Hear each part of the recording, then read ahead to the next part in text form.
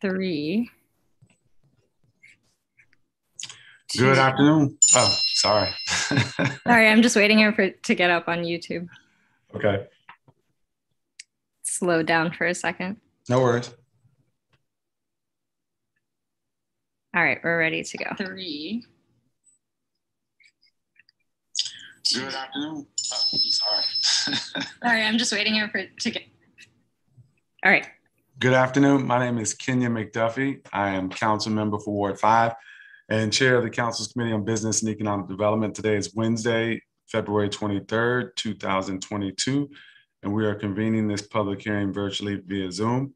Uh, the time is 9.03 a.m., and I'm calling to order this performance oversight hearing of the committee. Today marks the committee's fourth performance oversight hearing, and we will hear from the Public Service Commission, the Office of People's Counsel, the Mayor's Office of Nightlife and Culture, and the Alcoholic Beverage Regulation Administration. Uh, to establish the order for the day, public witnesses are going to all have three minutes each to provide oral testimony, and council members will have uh, three minutes for opening statements.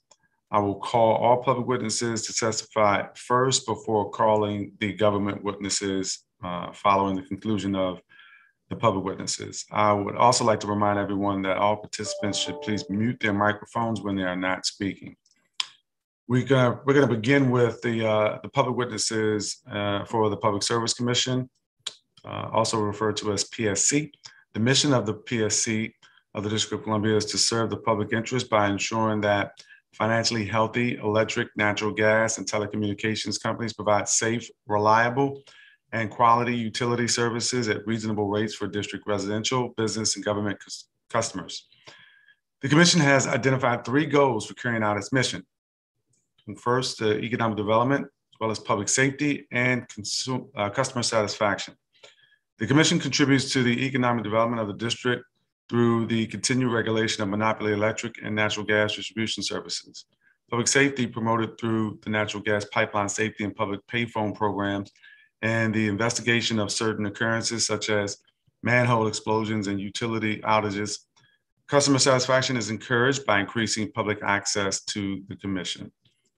Uh, I'm going to turn, before we turn to our public witnesses for the testimony, I'm going to recognize uh, my colleague, Ward 2 council member and member of the committee, Brooke Pinto, to see if you'd like to provide an open statement. And good morning to you, Councilmember Pinto.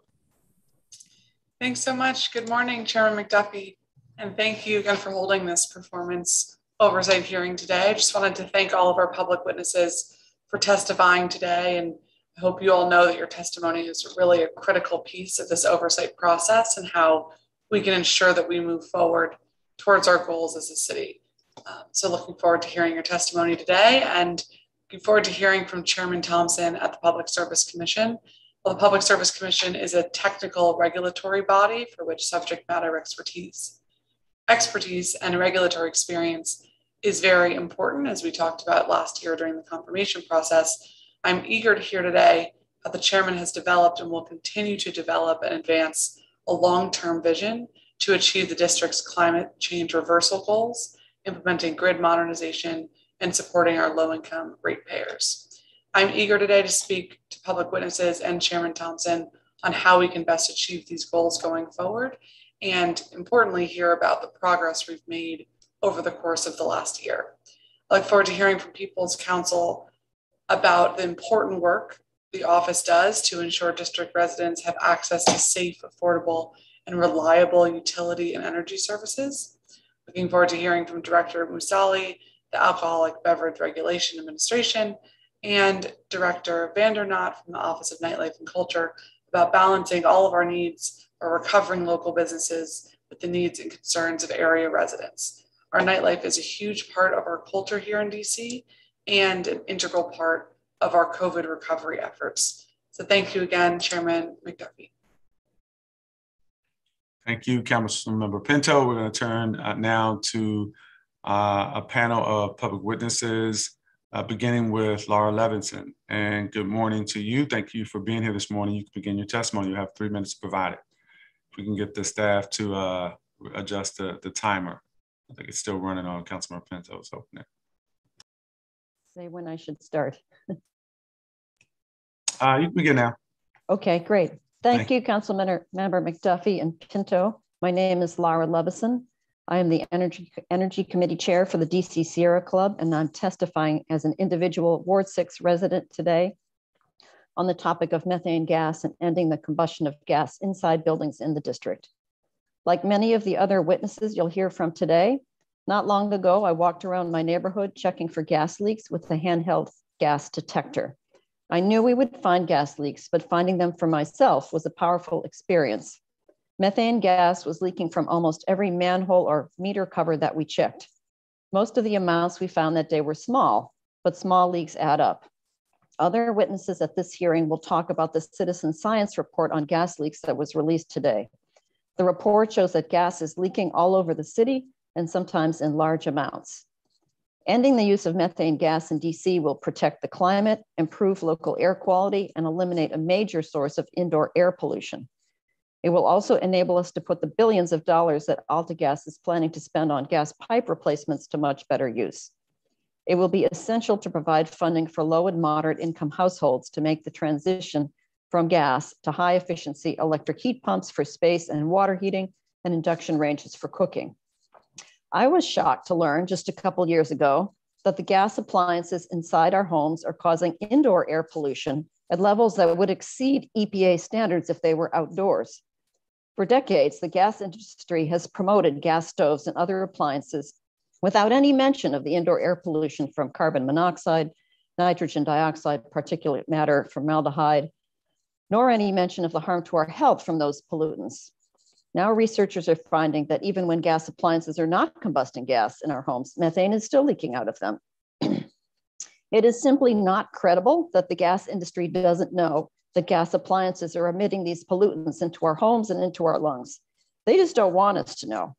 I have no doubt that in time we will find out that the gas industry hid the harmful effects of their products from the public, the indoor effects, just like the tobacco industry with lung cancer, the lead industry with permanent neurological damage, the oil industry with climate change, and other industries that have covered up the terrible consequences of their products. Enough is enough. I urge the council to pass legislation requiring the Public Service Commission to develop and execute a plan to end the combustion of methane gas in buildings in the District of Columbia, and importantly, to help WGL and its workers transition to a new business model Thank you for the opportunity to testify.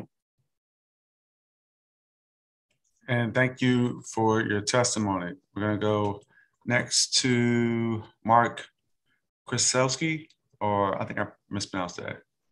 Thank you. Thank you, Chairman McDuffie, Councilmember Pinto, and the other members and staff of the committee for the opportunity to testify today. My name is Mark Kreswick. I'm a district resident and father of two young children. Before the pandemic started, I walked my preschooler less than a block to Barnard Elementary. Every day we caught a whiff of a gas leak on 4th Street that took months to fix. Turns out my neighborhood has one of the highest rates of gas leaks in the district, according to DOEE. My friends just removed the gas line to their house by installing heat pumps and an induction stove after they and their newborn were evacuated around midnight because gas from their neighbor's house had leaked inside theirs. To paraphrase their conversation the next day, gas leaks and then explodes. What a dumb way to get energy inside our homes. We're going all electric. Burning gas inside our buildings may be dumb for health and safety, but it's even worse from a business and economic development perspective. We don't produce gas here in the district, so every dollar we spend on fossil fuels leaves our economy. Every bit of gas that moves under our sidewalks and into our homes, leaking and burning, unnecessarily pollutes our lungs, disrupts our climate, and wastes our money. AltaGas has already charged DC ratepayers hundreds of millions of dollars for replacing pipes, but the rate of leaks has actually increased during that time. Next, they plan to take more than $4 billion over the next four de decades from DC families and businesses. Instead of continuing with a failed project pipes, it's past time for the PSC to plan an equitable transition off gas. DOE hasn't just mapped gas leaks, they've also mapped out what needs to happen. By 2026, every new building needs to be net zero, and by 2035, every appliance sold needs to be electric, on track for 70% of our homes to be all electric by 2040, and all of them carbon neutral by 2050. The best way to do that is through comprehensive beneficial electrification of entire neighborhoods, starting with those most plagued by leaking pipes and those who have been historically overburdened and underserved in our community. That's the orderly, cost effective path toward a more affordable, prosperous, healthy, safe, and comfortable clean energy economy. And it's one that the PSC must oversee. There are more than 120,000 low income households in DC, those living on less than 80% of our area median income, threatened with future utility disconnections and evictions. They can't be the last ones stuck paying for AltaGas's rapidly escalating gas prices. We need to mobilize funding for comprehensive retrofits of those homes and small businesses off gas, just like my friends did for their home. And that starts by ending project pipes in the leaking, dangerous, unhealthy gas system. Instead of charging DC families and businesses billions more to continue making the problem worse, leverage federal funding from ARPA, the Infrastructure Investment Jobs Act, the Green Bank, the SEU, PEPCO, and other sources for retrofitting entire neighborhoods off gas, ending any leaks, and avoiding the cost of repair and replacing pipes. Imagine the quality family supporting jobs that could be created right here in the district through such investment. Renovations and appliance installations, electrical system upgrades, and more. Chairman McDuffie, you introduced the Underground Utility Work Minimum Wage and Prevailing Wage Act of 2021, so you know that many of those jobs could pay well with that legislation. Together, we can tackle the challenge of ensuring that the transition off fossil fuels in our existing buildings is equitable, centering the needs of those who are most energy and housing burdened in our communities. Thank you for your leadership and oversight of the PSC. It's time to tell them to get moving to save ratepayers money, grow our economy, and protect our homes, businesses, lungs, and climate. And thank you very much for your testimony. Uh, next on the list is Jean Stewart. Good morning to you. You can begin your testimony. Uh, good morning, Chairman McDuffie and Council Member uh, Pinto. Thank you for this opportunity to testify. My name is Jean Stewart, and I'm a 50 plus year resident of Ward 1. I'm a volunteer with the DC Sierra Club and a member of the Washington Interfaith Network, WIN, through the Church of the Pilgrims. Recently, I participated in the gas leak detection project, and it was eye opening to see so many leaks from the streets that we covered in Ward 1, some near churches and schools. The most alarming were right next to the Harris Teeter grocery store on Kalorama Road. These leaks right in my neighborhood were very frightening to me. Methane gas leaking in so many places is an alarming signal of how we are poisoning our environment in DC. Inside our buildings, methane gas leaks from stoves and other appliances, including when they're turned off, and the burning of methane for heating and cooking pollute the air we breathe indoors with carbon monoxide, nitrogen dioxide, particulate matter, and formaldehyde. These lead to health problems like asthma, other respiratory diseases, and cardiovascular disease, exacerbating health problems especially common in our poorer communities. Washington Gas is promoting a huge project to replace all their pipes in DC at the cost of $5 billion. This cost will be passed on to ratepayers with escalating rates as this very expensive replacement goes on. As the electric grid grows more efficient and the cost of renewables continues to move downward, methane gas will be used less and less, leaving $5 billion worth of pipes as a stranded asset. I urge opposition to this expensive, inefficient, and unhealthy gas pipe replacement plan. And instead, I urge investment in electrification and increased use of renewable energy. We need legislation to move from leaky pipes and, and spending huge amounts of my and my neighbors' money on a climate killing, inequitable, and dirty fuel source, and in, uh, instead to invest in building the clean, green, and healthy energy system we need going forward. The district has committed to a 50% reduction of our greenhouse gas emissions by 2032 and net zero emissions by 2050.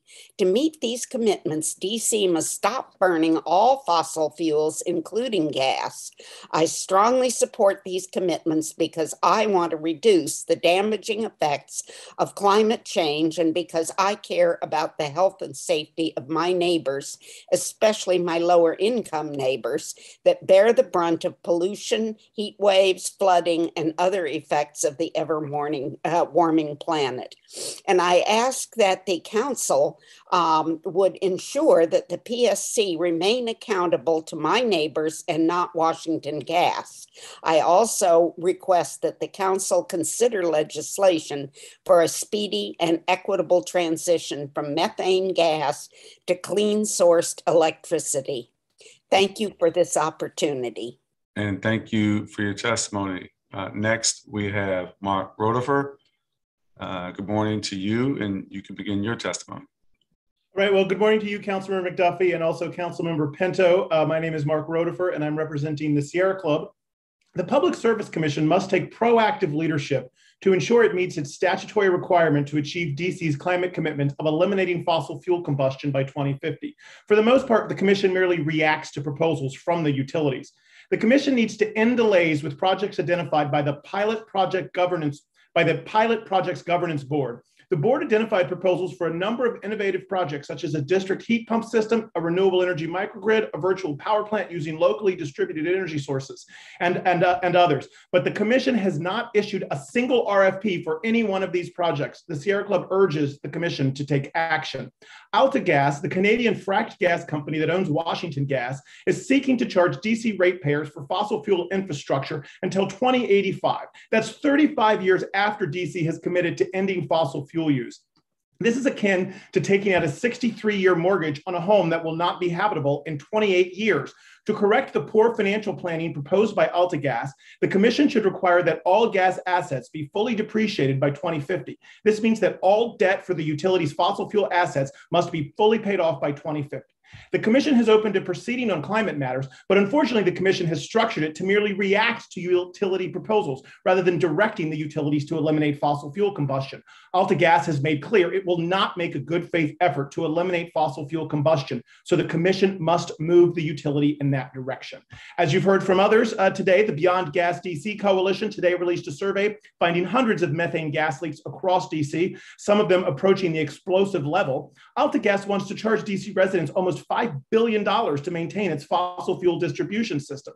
Instead of this wasteful spending, the DC Council should pass legislation directing the Commission to open a regulatory proceeding to determine how DC's gas utility will end its reliance on fossil fuels and shift to non combustible clean energy. A 2020 report produced for the Office of People's Counsel cited PEPCO's slow interconnection process as one of the key barriers to achieving uh, DC's re renewable energy requirements under the Re Renewable Portfolio Standard. The Commission must fix this.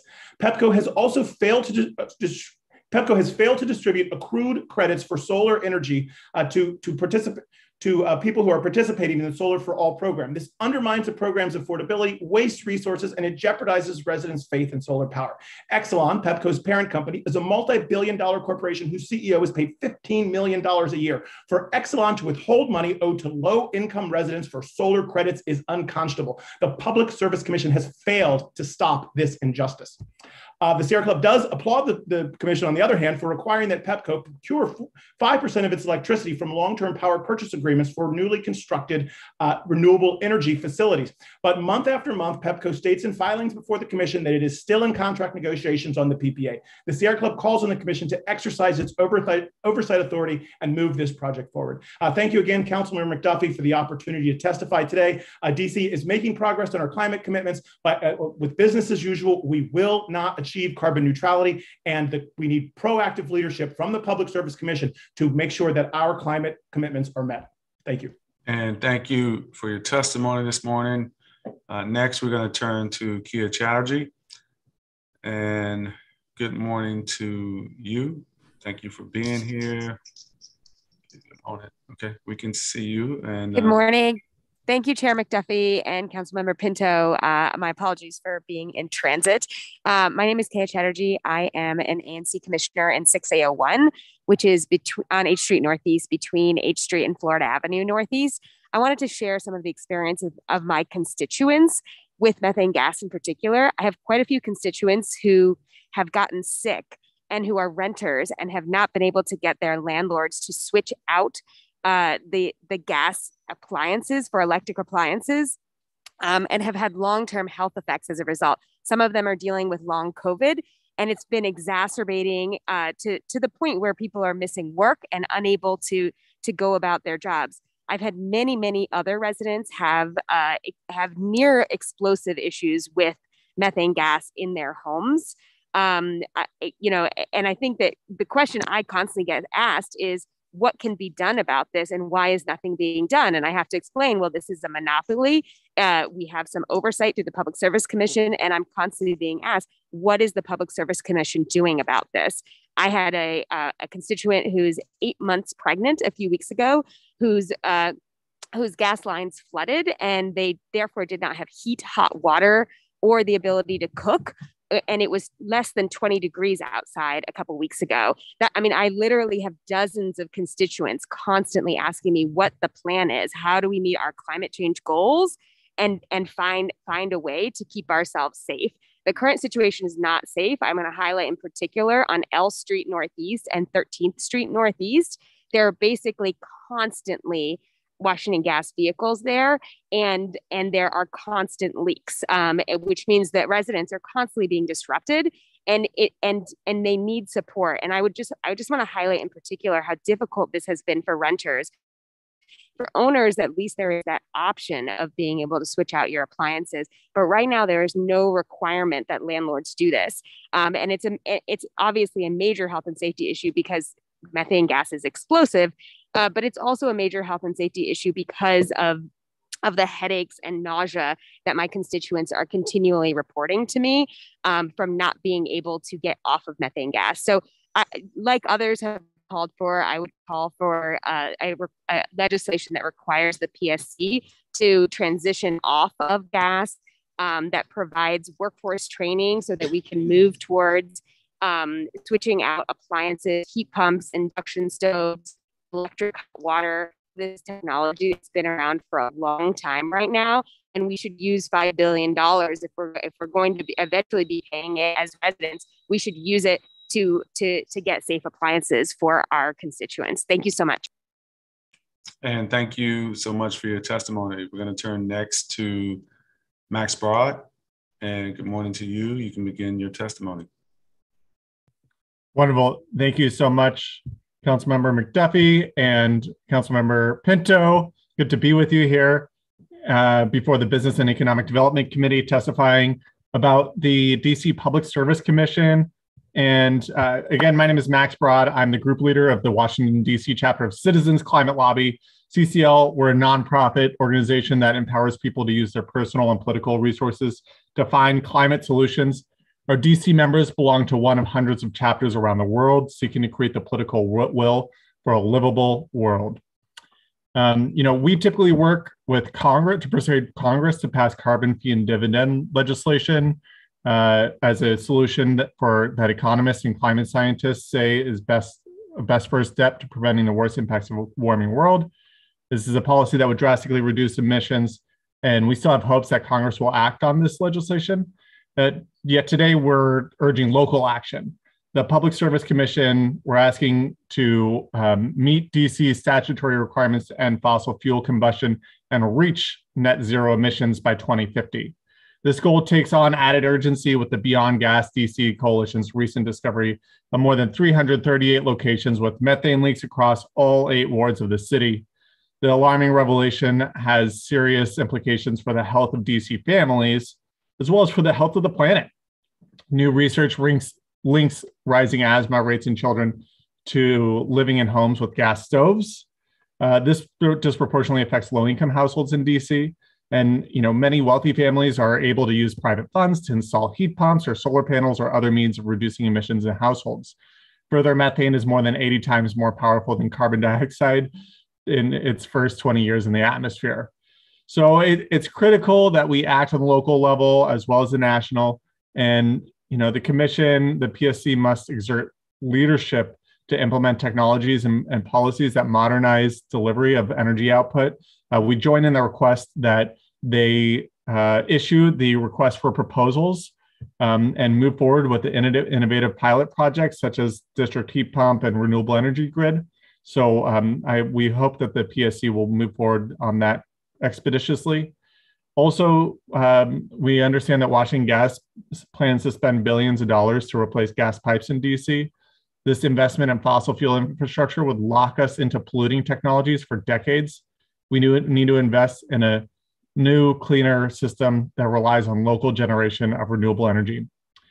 In conclusion, the DC chapter of Citizens Climate Lobby entreats the council to pass legislation that would require the commission to determine how DC's gas utility will abide by the statutory requirement to end fossil fuel combustion and achieve carbon neutrality by the year 2050. We ask you what the DC Council will take to implement the goals that put DC in the forefront of commitments on climate change? How will you ensure that we have a chance to reach our goals and demonstrate that the nation's capital can set an example in the struggle to address climate change? Thank you again for hearing the testimony from us and other like-minded organizations representing the climate concerns of, D- concerns of DC residents. And thank you for your testimony. We're going to turn next to Holly Pollinger. Hello, good morning. My name is Holly Pollinger, and I'm the founder of Glover Park Village Green. As a resident for 50 years, I'm proud of Washington, D.C.'s record as one of the leading cities in the country to fight climate change. But we do have a problem.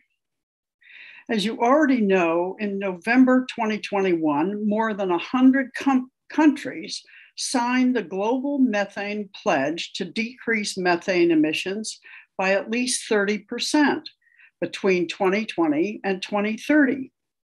And past reports indicate that oil and gas industry plumes have collectively released about 8 million tons of methane per year making up roughly 10% of the industry's estimated global emissions. But on February 14th, happy Valentine's Day, satellites revealed huge methane emissions from oil and gas sites, most never before seen, up close and personal worldwide. What does this mean? it means we are in even worse trouble than we thought. Washington, D.C. was not singled out as a major emitter, but the US is in the top three of the worst emitters. Hidden methane emissions are the hot topic of today, and it turns out that unit unlit gas stoves are not the only culprits.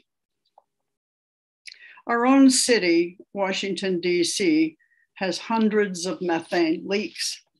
Aren't we lucky to have citizens willing to give up their time and energy to finding some of these leaks? The solution is not to allow Washington Gas to spend $5 billion to replace every single pipe in the district.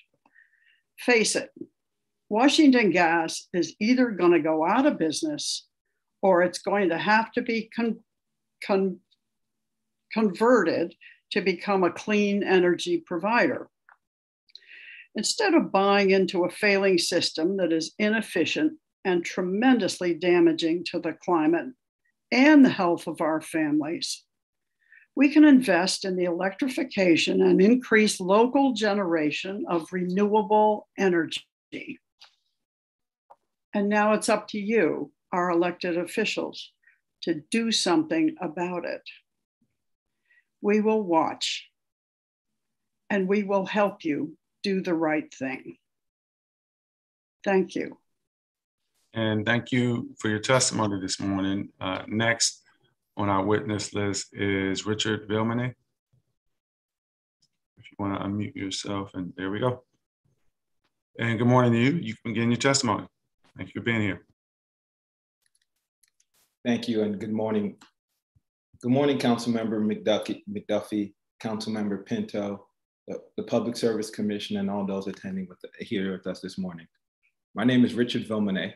I am a resident of Ward 2, a parishioner of St. Margaret's Episcopal Church, and a member of the Washington Interfaith Network. I first became involved with the Gas Leak Detection Project in 2021. The goal of the project was to look for gas leaks in neighborhoods in all eight wards. During my first trip out in Van Ness, I was shocked at how many leaks we encountered. I assumed there would be only minimal leakage in, in that wealthy neighborhood. Instead, we found significant leaks in most utility access points that we checked. In total, WIN found nearly 400 leaks spanning all eight wards. In DC, the largest source of greenhouse gas pollution is from buildings, with nearly a quarter coming from gas. It is affecting everyone's health, not to mention the environment, yet it is invisible to most. This gas is speeding the climate catastrophe and making summers hotter and deadlier for the lowest income residents, including those facing housing insecurity. Recently, we have seen a lot of publicity about the harmful effects of methane emissions, which leak from gas stoves even when they are not in use. Meanwhile, gas that is burned as is intended to be, especially from gas stoves, pollutes indoor air with nitrogen dioxide, soot, and other toxins. Children raised in homes with a gas stove are 42% more likely to have asthma. In DC, we know that children living in Ward 8 are 10 times more likely to visit the hospital due to asthma. As a parent myself, this is something that troubles me greatly. For me, environmental equality means that we must transition to a green economy and green infrastructure. Washington Gas wants to spend $5 billion, that's billion with the capital B, to replace their gas pipes. Instead of continuing to invest in a toxic infrastructure that is inefficient and damaging the planet and our families, we should immediately invest in electric and renewable energy. DC has committed to a 50% reduction in greenhouse gas emissions by 2032 and net zero by 2050. To reach those goals, we must cease burning fossil fuels, including gas. I'm calling on the council to introduce legislation to invest our taxpayer dollars into new, clean, and healthy renewable energy to meet those goals, and to direct the Public Service Commission to focus on the transition from gas, not pipe replacement. Thank you. Thank you uh, for your testimony. We're going to move next to Patricia Briggs. And good morning to you. You can begin your testimony. Um, good morning, um, Council um, Chairman um, McDuffie and council members. My name is Patricia Briggs. I'm a member of the Washington Interfaith Network and um, St. Augustine Catholic Church, which is located in War 2.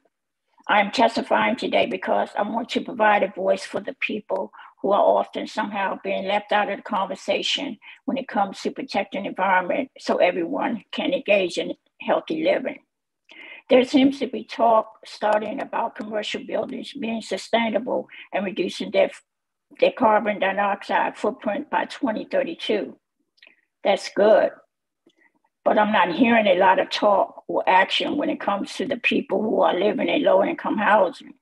Most of these individuals, including children, are having to deal with inhaling gas pollutants when gas is burned, like in our, in our stoves, which can lead them to develop chronic conditions like COPD and asthma. These issues is important and must change to give our families, especially our kids, a chance to be healthy. In the last year, I have had the pleasure of participating in gas leak detection with people from the DC churches who care about affordable housing that is also healthy and green. One of the areas where we performed gas leak detections was in the Capitol Hill and Eastern Market area. While walking on the Capitol Hill side, one thing that became very noticeable to me is the amount of gas manholes that were plugged, meaning closed. And there were not very many. But while walking towards Eastern Market, there were many gas manholes, including in areas like in front of churches, schools, a couple of mom and pop stores, crossing intersections, and apartment buildings. The tool that was used to test for gas in these areas detected high levels of gas being released. I have participated in leak detection in over a dozen neighborhoods, and we have found leaks in all of them. I would like to leave you with this. I personally have seen the harmful gas that's been released into the environment in neighborhoods all over DC. Nothing matters if there is no environment. Once there are no gas pipes, there won't be leaks either. So I look forward to the day when we don't have to burn gas in our homes, which will also help us live healthier lives. What can you do to make this happen faster? Thank you. And thank you for your testimony here this morning. Um, we're going to turn to, I believe, our last public witness for this panel, uh, John Moore. And good morning. Uh, Good morning. Testimony. Uh, good morning, Councilmember uh, McDuffie and Councilmember Pinto. Uh, thank you for the opportunity to speak here. Uh, I'm a resident of Ward 4, lived here for oh, over 40 years. Uh, I've been involved with the Washington Interfaith Network and also with the DC chapter of the Sierra Club, uh, really pushing for affordable, healthy housing, green housing, and in particular, moving away from methane gas heating and and uh, and heating. Um, I think I I support fully the uh, uh, testimony of uh, fellow members of WIN and the Sierra Club on details of how to go forward. Um, I don't I won't go through that, but I wanted to focus on one major thing. Living in Ward Four, I um, am in a privileged part of the city compared to folks who live in seven and eight. And that is more things get done here than get done there. And in particular, um, I had uh, a real gas leak problem in my house and on our street, and both of them got fixed pretty quickly. Um, they got fixed, but what I didn't know was that the gas in my house was not healthy. Uh, I had a son who had pretty severe asthma, I don't know that it was because of the gas cooking and the heating in the basement, but it could well have been. Uh, the other thing I also found out was that um, the uh, efficiencies of doing the heating is really bad. But the main thing that what I see is uh, more homes like mine uh, are going to be switching off of gas. Um, my furnace is 60, 70 years old. It's, I've been told by many it's dangerous. I need to replace it. I am going to proceed in looking into replacement. I'm being examining switching to heat pumps because of their efficiency and how well they work.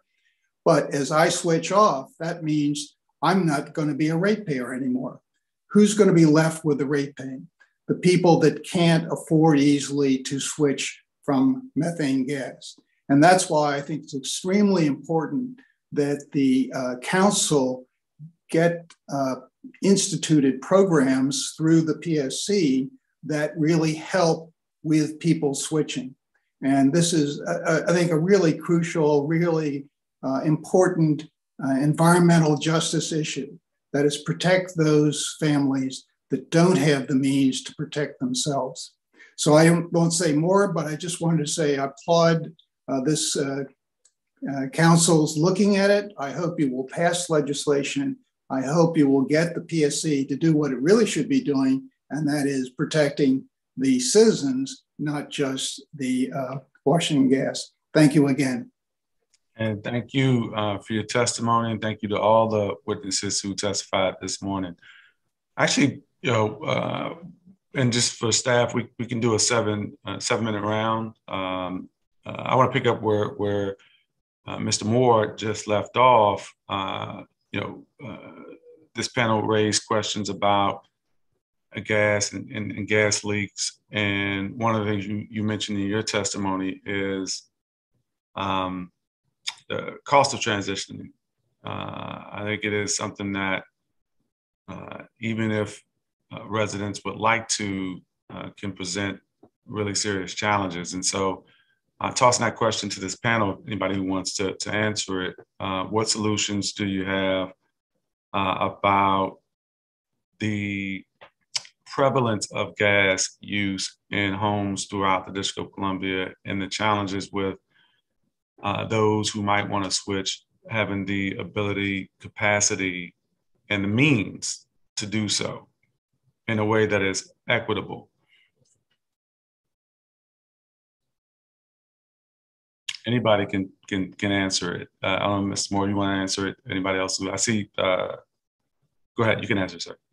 Sure. If nobody else wants to. Um, uh, one of the most important things is making sure that for those who uh, don't have capital to invest in things like heat pumps and induction stoves, is that they can make this transition at no cost.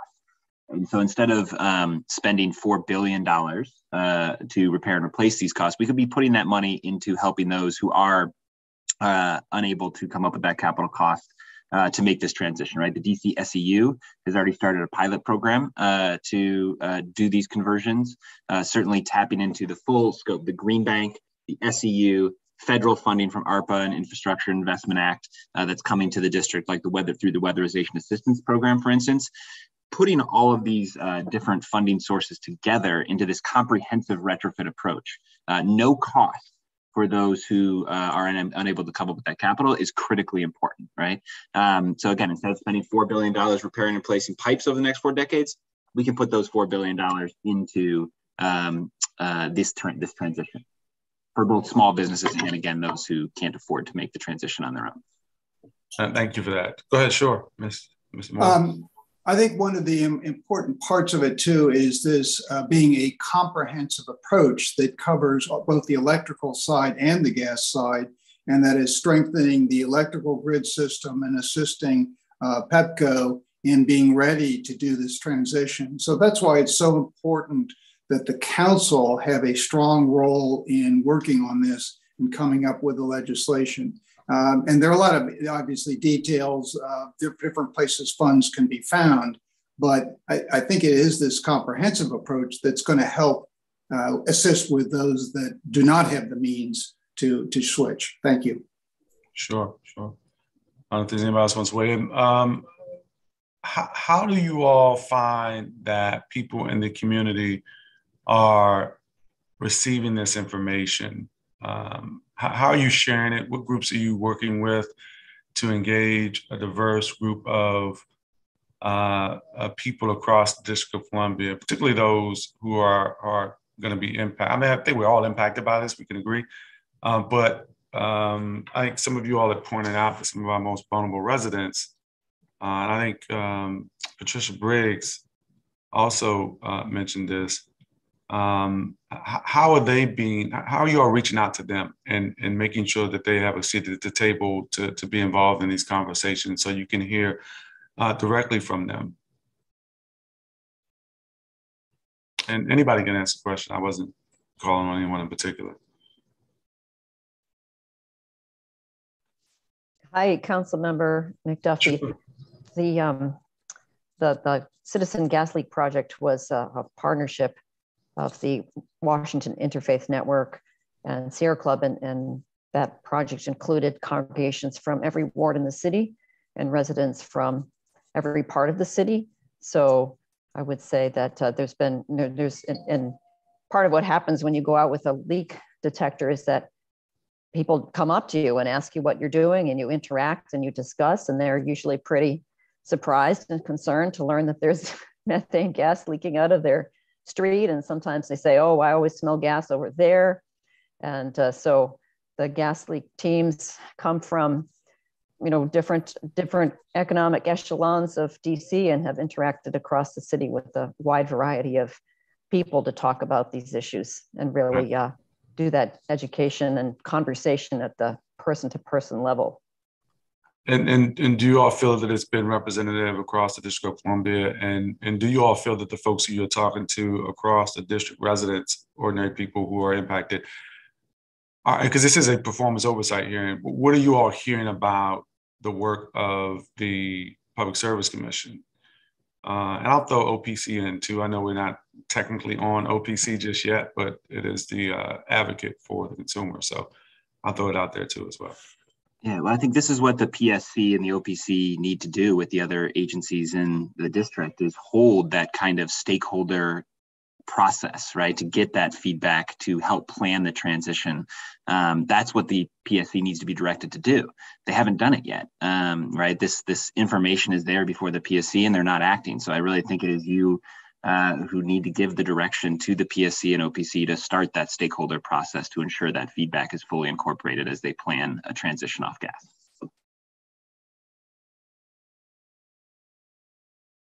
Uh, thank you for that. Anybody else get to weigh in with my last few seconds? Council member, if you could ask also the next panel, this uh, Barbara Briggs was was one of the leaders in this effort. She's unfortunately not on this panel, but she was with almost every leaks team and she could give you a very uh, broad picture, um, you know, a more detailed picture of the interactions that we experienced on this project. Sure, I appreciate you mentioning that, and uh, hopefully uh, Barbara Briggs can hear me. But I'll, I'll, certainly have staff, if I don't recall, to nudge me to make sure that I, I throw that question out to, to uh, the next panel as well. Uh, thank you uh, all for your testimony. I'm going to turn now to my colleague, uh, Brooke Pinto, for a round. Great. Thank you, Chairman, and thank you all for your testimony. Um, a lot of really interesting ideas here. I want to start with Mr. Kresowick. Um, I'm interested about your thoughts for no cost investment conversions away from gas. And you mentioned use of some of the ARPA funding and using uh, the $4 billion for repairs for retrofitting. Do you know if all of this funding is, if the guidelines include using this funding for retrofitting purposes? Yes. Um, it, when I say retrofit, I'm talking about a comprehensive retrofit, right? So health and safety repairs, energy efficiency, electrification, kind of all the things that are needed to um, move a home uh, fully off gas. Um, some of those things are definitely eligible under ARPA funding. Um, others are eligible under, uh, for instance, again, the Weatherization Assistance Program uh, increase. Uh, that was included in the Infrastructure Investment Jobs Act. Uh, there's HUD money um, that can be used for some of these purposes. Um, so uh, portions of that kind of comprehensive approach is how do you stack and braid these funds together um, to enable those comprehensive retrofits that's uh, most critical. And that's where, again, this interagency collaboration and stakeholder process is so critical to develop that kind of one-stop shop whole home retrofit approach. Mm-hmm and I'll just find the, the last of the PSC is needed to direct it this on a neighborhood basis, right? To say, okay, if we do run that throughout an entire neighborhood, we can shut down this entire section of the gas system and save that money that won't have to be spent to repair and replace it. That's where the PSC really needs to step in to kind of direct this entire process to make sure it's most cost effective and equitable. Okay, thank you so much. That's certainly something we can speak with Commissioner Thompson about later this morning or this afternoon. Um, Ms. Levison, you spoke about the need for legislation to require the PSC to end use of combustion gas in buildings. Do you have anything else to add to um, off ramps that you think are needed for that mission or other jurisdictions who have uh, outright banned it as well? Uh, thanks for the question, Council Member Pinto. We're, we're asking for the council to pass um, a directive for the Public Service Commission to, to plan a transition, uh, not trying to um, necessarily seek an immediate gas ban, but rather we need, as others have described, um, a very planned and well thought out transition that also transitions the the WGL utility to another method of provide, you know, to different energy services, providing clean energy services, because we we value the, you know, we, we know the great value of that workforce and and uh, that uh, the services that they could be able to provide. Sorry, I'm not a little distracted because I've got DC water in my front yard today, digging up the sewer line. Oh so uh, we do have a lot of specific ideas. We'd but more than happy. We'd love to come and talk to you about them in detail. Um, uh, there are a lot of good models being laid out in other states, absolutely. And uh, we'd love to put those together and lay those before the council. Great. Well, thank you very much. Um, Mr. Rodeffer, you mentioned in your written testimony that the commission should look to Vermont as an example for some of its efforts to offer electric heat pumps. Can you elaborate a little bit more on what Vermont is doing in this space? Yes, so um, Vermont Gas, I think, is the name of their utility. Uh, and Vermont, by the way, is a little smaller than DC in population.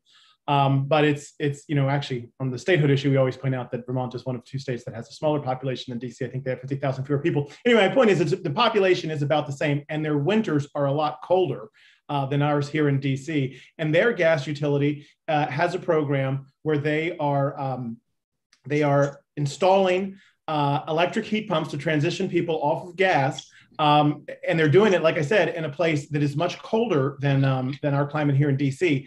Unfortunately, uh, AltaGas, uh, which is a Canadian fracked gas company based in Calgary that owns Washington Gas, they have not shown any sort of attempt to make any good faith effort to do what they said they would do when they bought Washington Gas a few years ago, which was transition to a new business model that didn't rely on the combustion of fossil fuels. They have fanciful plans about gas from cow manure and things like that. Uh, that will not work. The quantities of it are there's not enough of it. It's way too expensive. Instead, they should be doing things like um, what is happening in Vermont, where uh, you know the gas utility is actually moving towards efficient, renewable uh, heating systems instead of polluting ones. Um, but like I said, unfortunately, we don't think AltaGas is probably going to do that. And that's where the commission really uh, uh, has to step up. And the commission needs to take proactive leadership. Uh, you know, and I, I remember Councilmember Pinto at uh, Commissioner Thompson's uh, confirmation hearing, you were asking him, are you going to take proactive leadership? And he said, yes, I will do that if I'm confirmed. We shouldn't just react to what the utilities are doing. And I think now is a time where uh, we really need to see Commissioner Thompson, interim chairman Thompson, uh, follow up on that commitment and take proactive leadership and not, uh, you know, wait for what the gas utility, uh, wait for whatever they say they're going to do, and then split the baby. It's time for them to say, okay, you guys need to get serious about the transition off of gas. Um, and so, so I hope you can you can talk with um, with uh, Commissioner Thompson about that later today. Great. Well, thank you so much. And you know, I'm trying to figure out how I can frame this question because I know this could be a, a two hour discussion as opposed to one minute, um, Mr. Rodeffer. But as we think about Vermont and what they're doing well, where else can we be looking for guidance on from other jurisdictions who are being more efficient and effective at moving away from gas more quickly? Uh, well, I mean, you know, there there are things happening in Massachusetts, New York, California. One thing that's interesting that actually we've talked to Commissioner Thompson about is in Denver they have a waste uh, heat extraction system where you take um, uh, you you you the, heat that's in sewage is uh, it, you use a heat pump. By the way, the, the, the sewage is never it, it never touches any anything. So I don't want I don't want to get anyone confused and think there's any sewage involved in this. Uh, and it, it, it's essentially a heat pump, but it's more efficient because the the, the the the the sewage heat is much hotter than the air or the ground. Maybe not hot is the right word, but warmer. So you can you can extract heat from it um, and and use that to heat buildings. So that's one example of the kind of thing we've done. I know Commissioner Thompson actually was in Denver and wanted to tour the facility. I think he was unable to, but but um, so uh, there are a number of places doing different innovative things. Um, and, and DC, you know, usually is on the vanguard when it comes to climate uh, stuff. We were the first place to have 100% uh, electricity from 100% renewable sources. We're really kind of behind on gas. And this is where we need not just the council, not just the, the commission, but also the council to, to step up here. Okay, well, thank you so much. I know I'm out of time this round, um, but Ms. Chatterjee, if you're still here, very concerned about some of what you shared, um, and we'll be following up with the government witnesses today as well. Thank you all. Thank you, Councilmember Pinto, and thank you to each of the witnesses for taking the time to provide testimony this morning. We're going to transition these witnesses and bring on a new panel of public witnesses. I think we're beginning with Michelle Hall. So I'll give uh, just a moment to make the transition.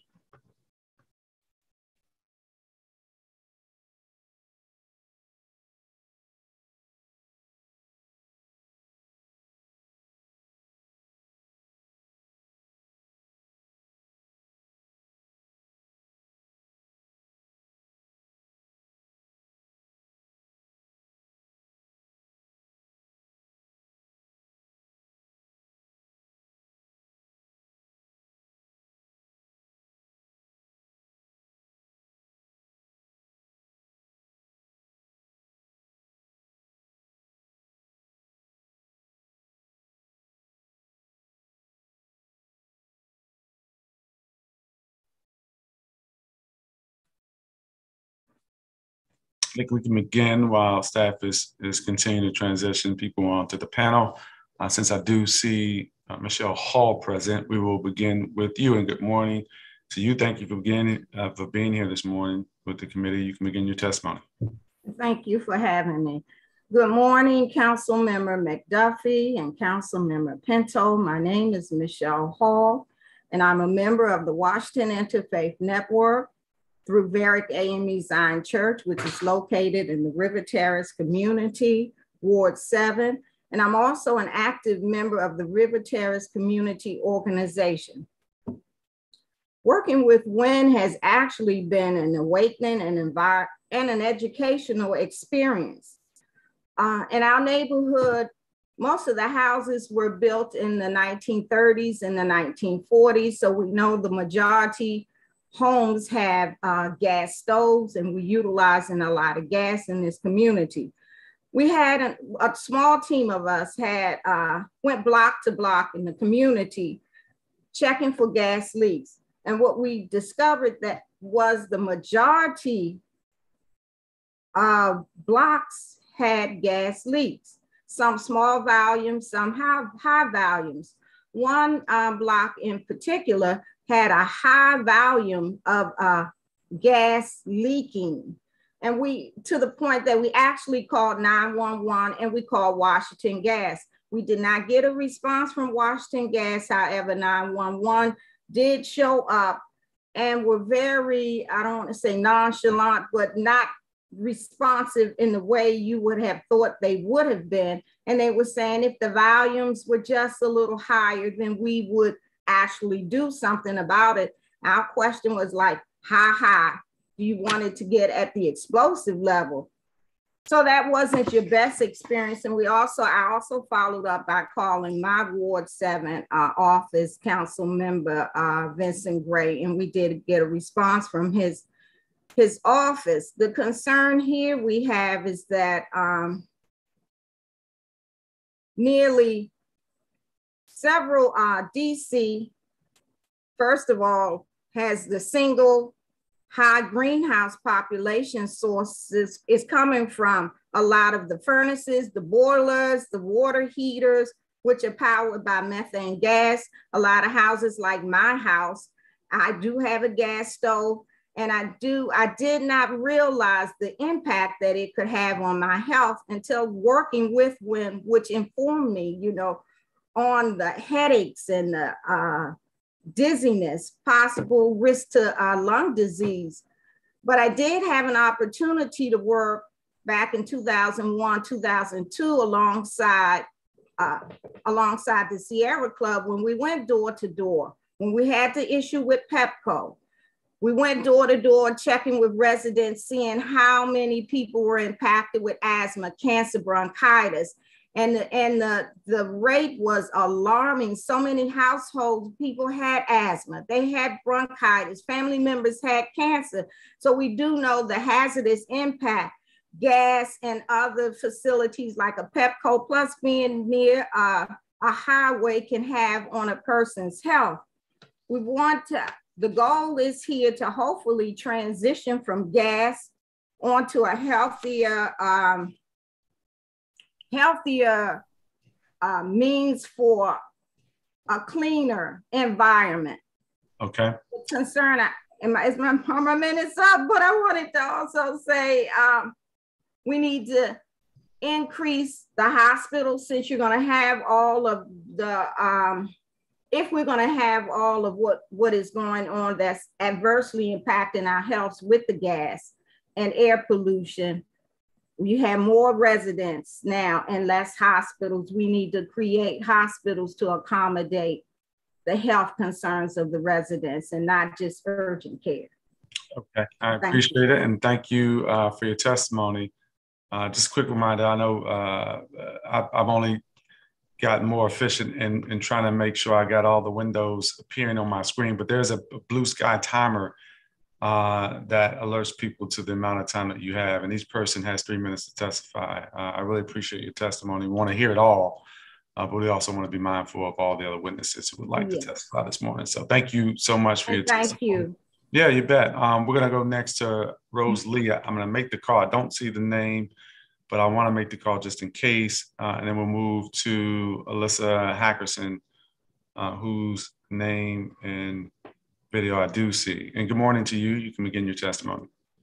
Good morning, Chairman McDuffie and Councilwoman Pinto. I'm Alyssa Hackerson, a parishioner at St. Augustine Catholic Church in DC, the chair of our social justice advocacy ministry, and a Washington Interfaith Network leader working on the Green Healthy Buildings campaign. My Catholic Christian faith and a deep love for DC that stretches back to 1988 my freshman year at American University, compels me to plead today for policy that prioritizes healthy people and a cleaner environment over profits for Washington Gas and any other energy slash construction company that wants to use tax dollars to continue profiting off of unhealthy carbon emissions. Care for the earth is a fundamental ten- tenet of my faith, and I believe of utmost concern to you, DC's elected leaders as well.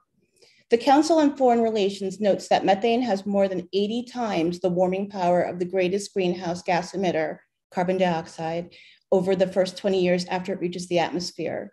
but it breaks down quicker than carbon dioxide and is mostly gone from the atmosphere after about 10 years. So, cutting methane now is an efficient way to reduce the harmful effects of climate change in just a decade's time. I hope that you'll agree that the environmental challenges connected with methane gas emissions have fundamental health, moral, and ethical dimensions, and the need to remove methane from DC's buildings and homes cannot be ignored.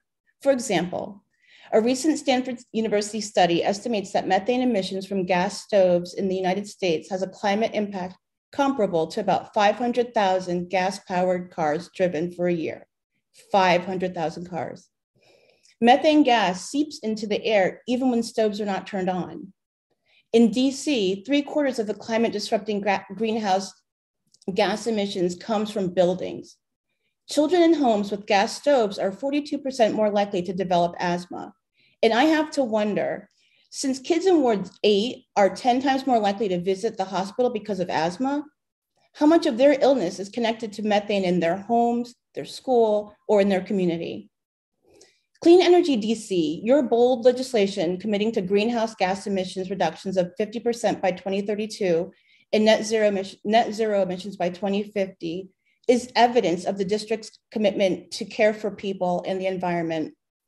Considering Clean Energy DC's goals, I just don't see how fossil fuels can remain part of the city's energy portfolio.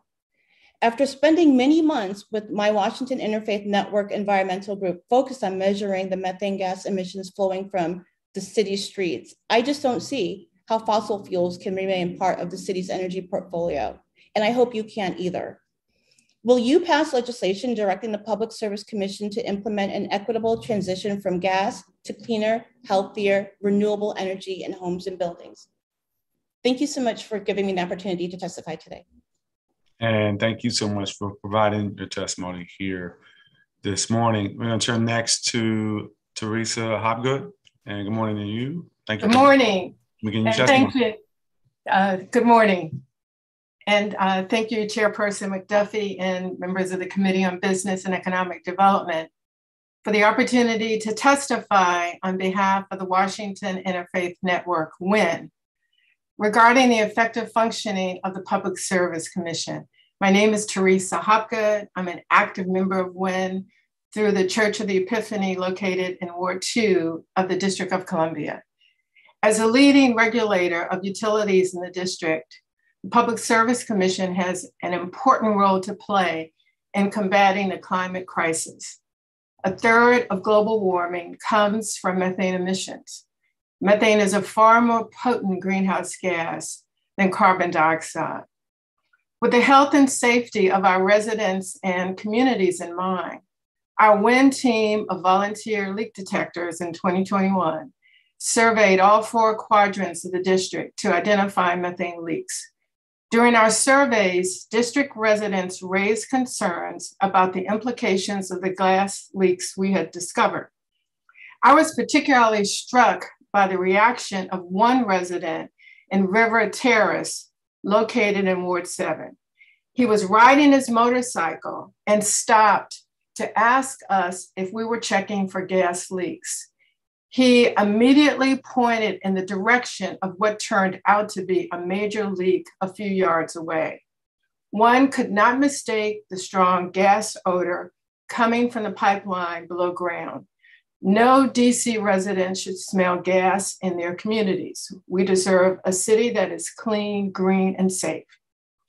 In light of this harmful discovery, what responsible and forward leaning actions should be pursued next? We do not support a solution that calls for building significantly more methane gas pipelines. Cleaner and safer alternatives exist. WIN is eager to help provide for safe, healthy lives for district residents today and for years to come. This aligns with the district's goal of cutting greenhouse gas emissions by 50% by the next decade. We want all of our children in communities across the district to thrive and to breathe clean air. That is a part of WIN's vision for an equitable future. Will the council hold the Public Service Commission accountable for doing its part in achieving a healthy, green environment for all. That concludes my oral statement. Thank you, Chairperson McDuffie, for the opportunity to testify today. And thank you so much for uh, your testimony. We're going to turn next to Jim Beck, and good morning. Uh, you can begin your testimony. Hello, all. Uh, my name is Jim Beck. I come here as a longtime DC resident of Ward 4 and member of the Washington Interfaith Network through my church, Mount Vernon Place United Methodist Church in Ward 2. Thanks for the chance to share my story and why I'm convinced we need the council to move on further legislation to help our city decarbonize and do it quickly and equitably. Over many years, I've been inspired and convicted by my faith that we need to do better to one, look out for all our neighbors, and two, be good stewards of our home, this earth. Over just as many years, I've been on a journey to figure out what that means and how to do it. Well, after learning from WIN and others over recent years about how methane gas is not only bad for our climate, but bad for public health, I got the fire under me to make some changes. So, first, what did I learn? I learned by burning fossil fuels, we are not only fouling our air, we are contributing to climate change, hurting us, our neighbors here and around the world. Okay, so we got to do something about fossil fuels. Here in the district, three, three quarters of our climate disrupting emissions come from buildings okay, we got to do something about buildings, I guess. Then came the kicker. I learned that cooking and heating with methane gas, which we've been told is the environmental choice, right, can actually create smog like conditions in our houses. Children in homes with gas stoves are 42% more likely to develop asthma. Okay, so gas can contribute also to indoor air pollution that hurts our kids. Wait, there's more. Through the uh, gas detection, leak detection work of my friends at WIN, I learned that gas is leaking all over the city. To fix it, Washington Gas wants, as you've heard, to spend four to five billion dollars to replace every single pipe in the district. So indeed, we have an expensive infrastructure choice before us. And I think instead of buying into a failing system that is tremendously damaging to the climate and the health of all our families, we can invest in infrastructure we all need for the future. That's what I learned. What am I doing about it? When I my radiator broke last winter, I saw an opportunity myself personally. This year we made the call to get off gas altogether, which ain't easy here in DC with old houses with gas boilers, uh, water heaters, uh, stoves, etc. It ain't cheap either to make the switch. I'm happy to say we got off gas in January. The day our induction stove was installed, the, the, the Washington Gas technician removed the meter. But so what? One privileged guy is able to get one house off gas to protect his family, my family, and try to contribute to climate solutions. What about all the other families? That's what we got to do. We got to invest in helping out all our neighbors across the district make the transition and make it fast. Status quo is unacceptable. Methane gas we burn in our homes is not only bad for the climate, but for public health. As you heard, gas infrastructure is crumbling. Now is the time to rise up and move on a fast, just, just and equitable transition to the future.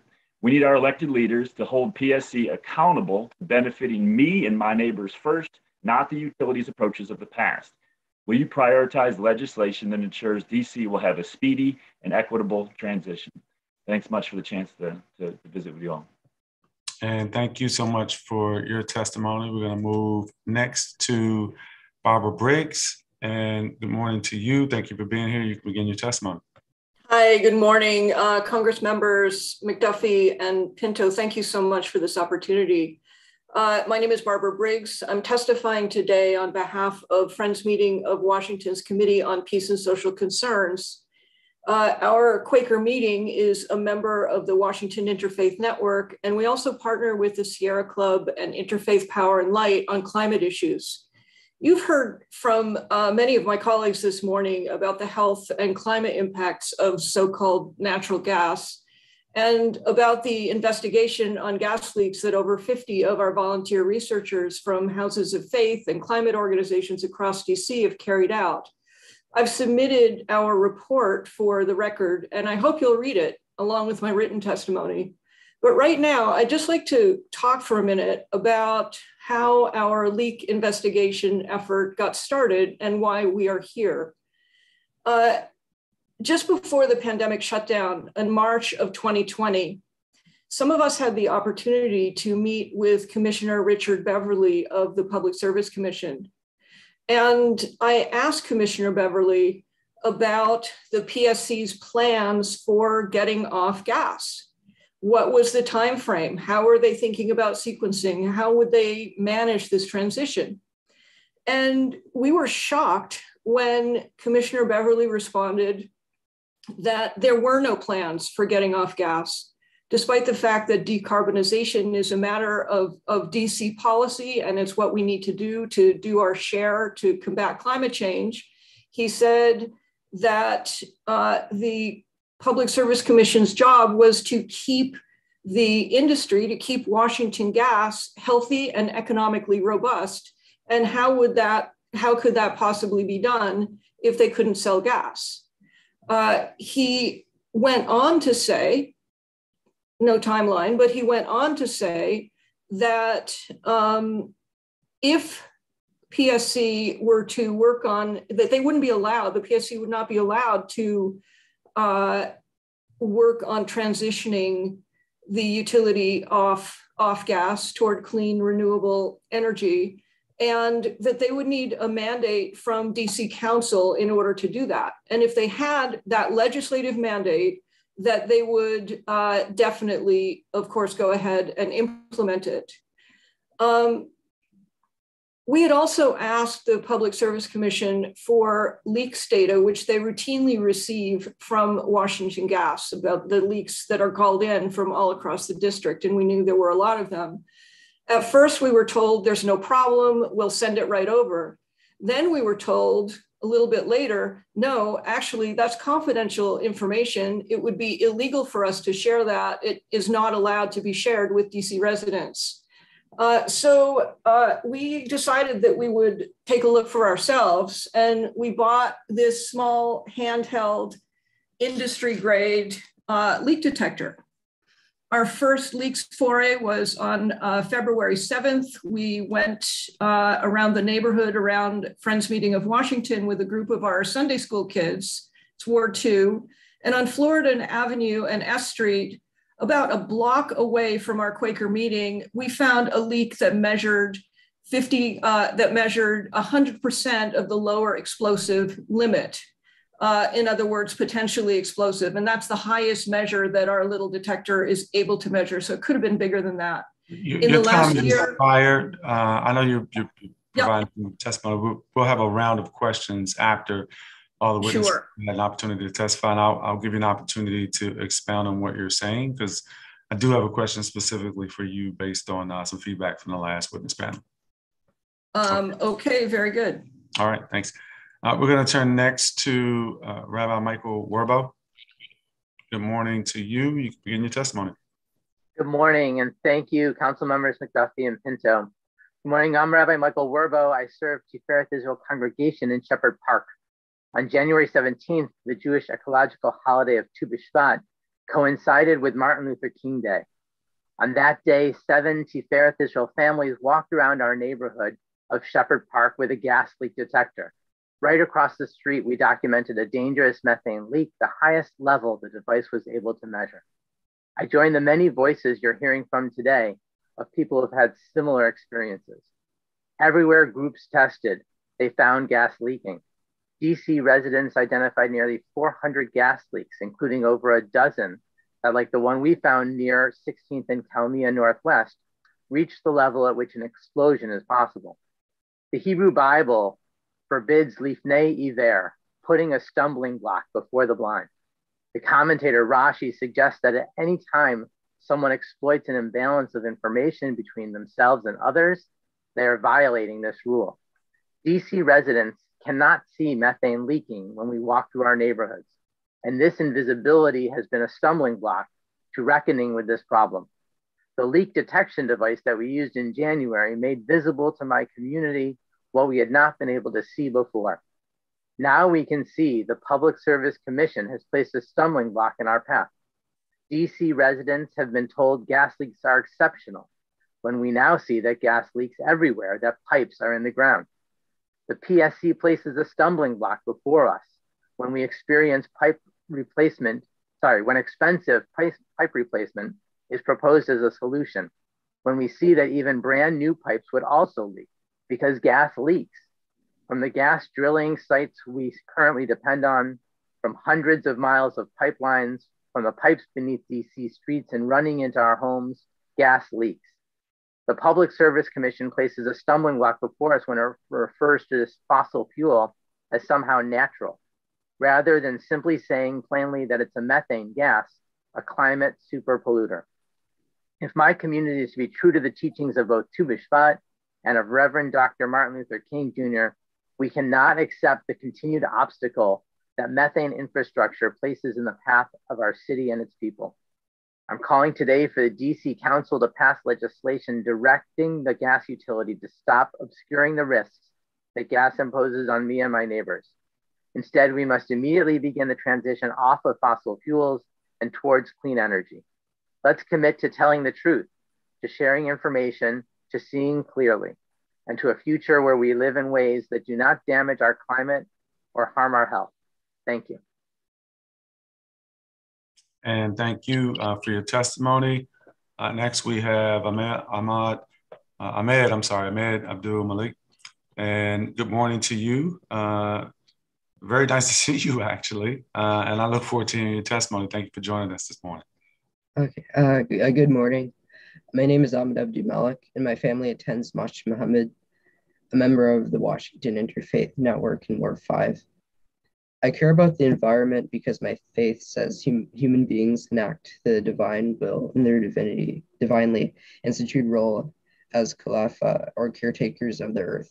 So that means we should take care of the gas leaks as that would be the right thing to do to help the planet.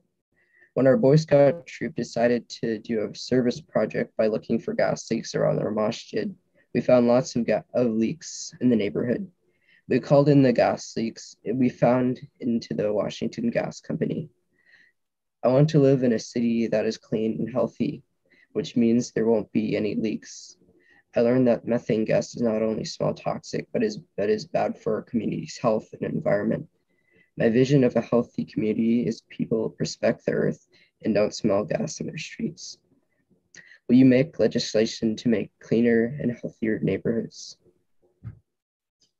Thank you. And thank you for your testimony. Uh, hopefully, you can stick around. I don't know if you've got school. I don't want to hold you up if, if you got to get back to class, but uh, I, I want to take an opportunity to really thank you for for testifying. We don't often get. Uh, I don't want to make any assumptions about your age, but uh, but how old are you? Ahmed? Oh, I'm 14. 14. Well, thank you. Uh, what grade are you in? Oh, I'm in eighth in eighth grade. Okay. Well, look, we don't often get eighth graders providing testimony to the Council of the District of Columbia, certainly not before my committee. Um, and so I do appreciate you taking the time uh, to do so. Uh, it is very effective tool to convey concerns to uh, your elected officials, and I emphasis on your elected officials because we represent you as well as, as the, the other residents across the District of Columbia. And so we want to hear from you and your friends and the people in your community uh, as much as we want to hear from anybody else uh, in the city. Uh, you are just, just as invested in, in the city. It's got to pour into you. And so thank you for taking the time to provide your testimony. I don't know if you provided it in writing, but we love to have your written testimony to make sure it's part of the record. Okay?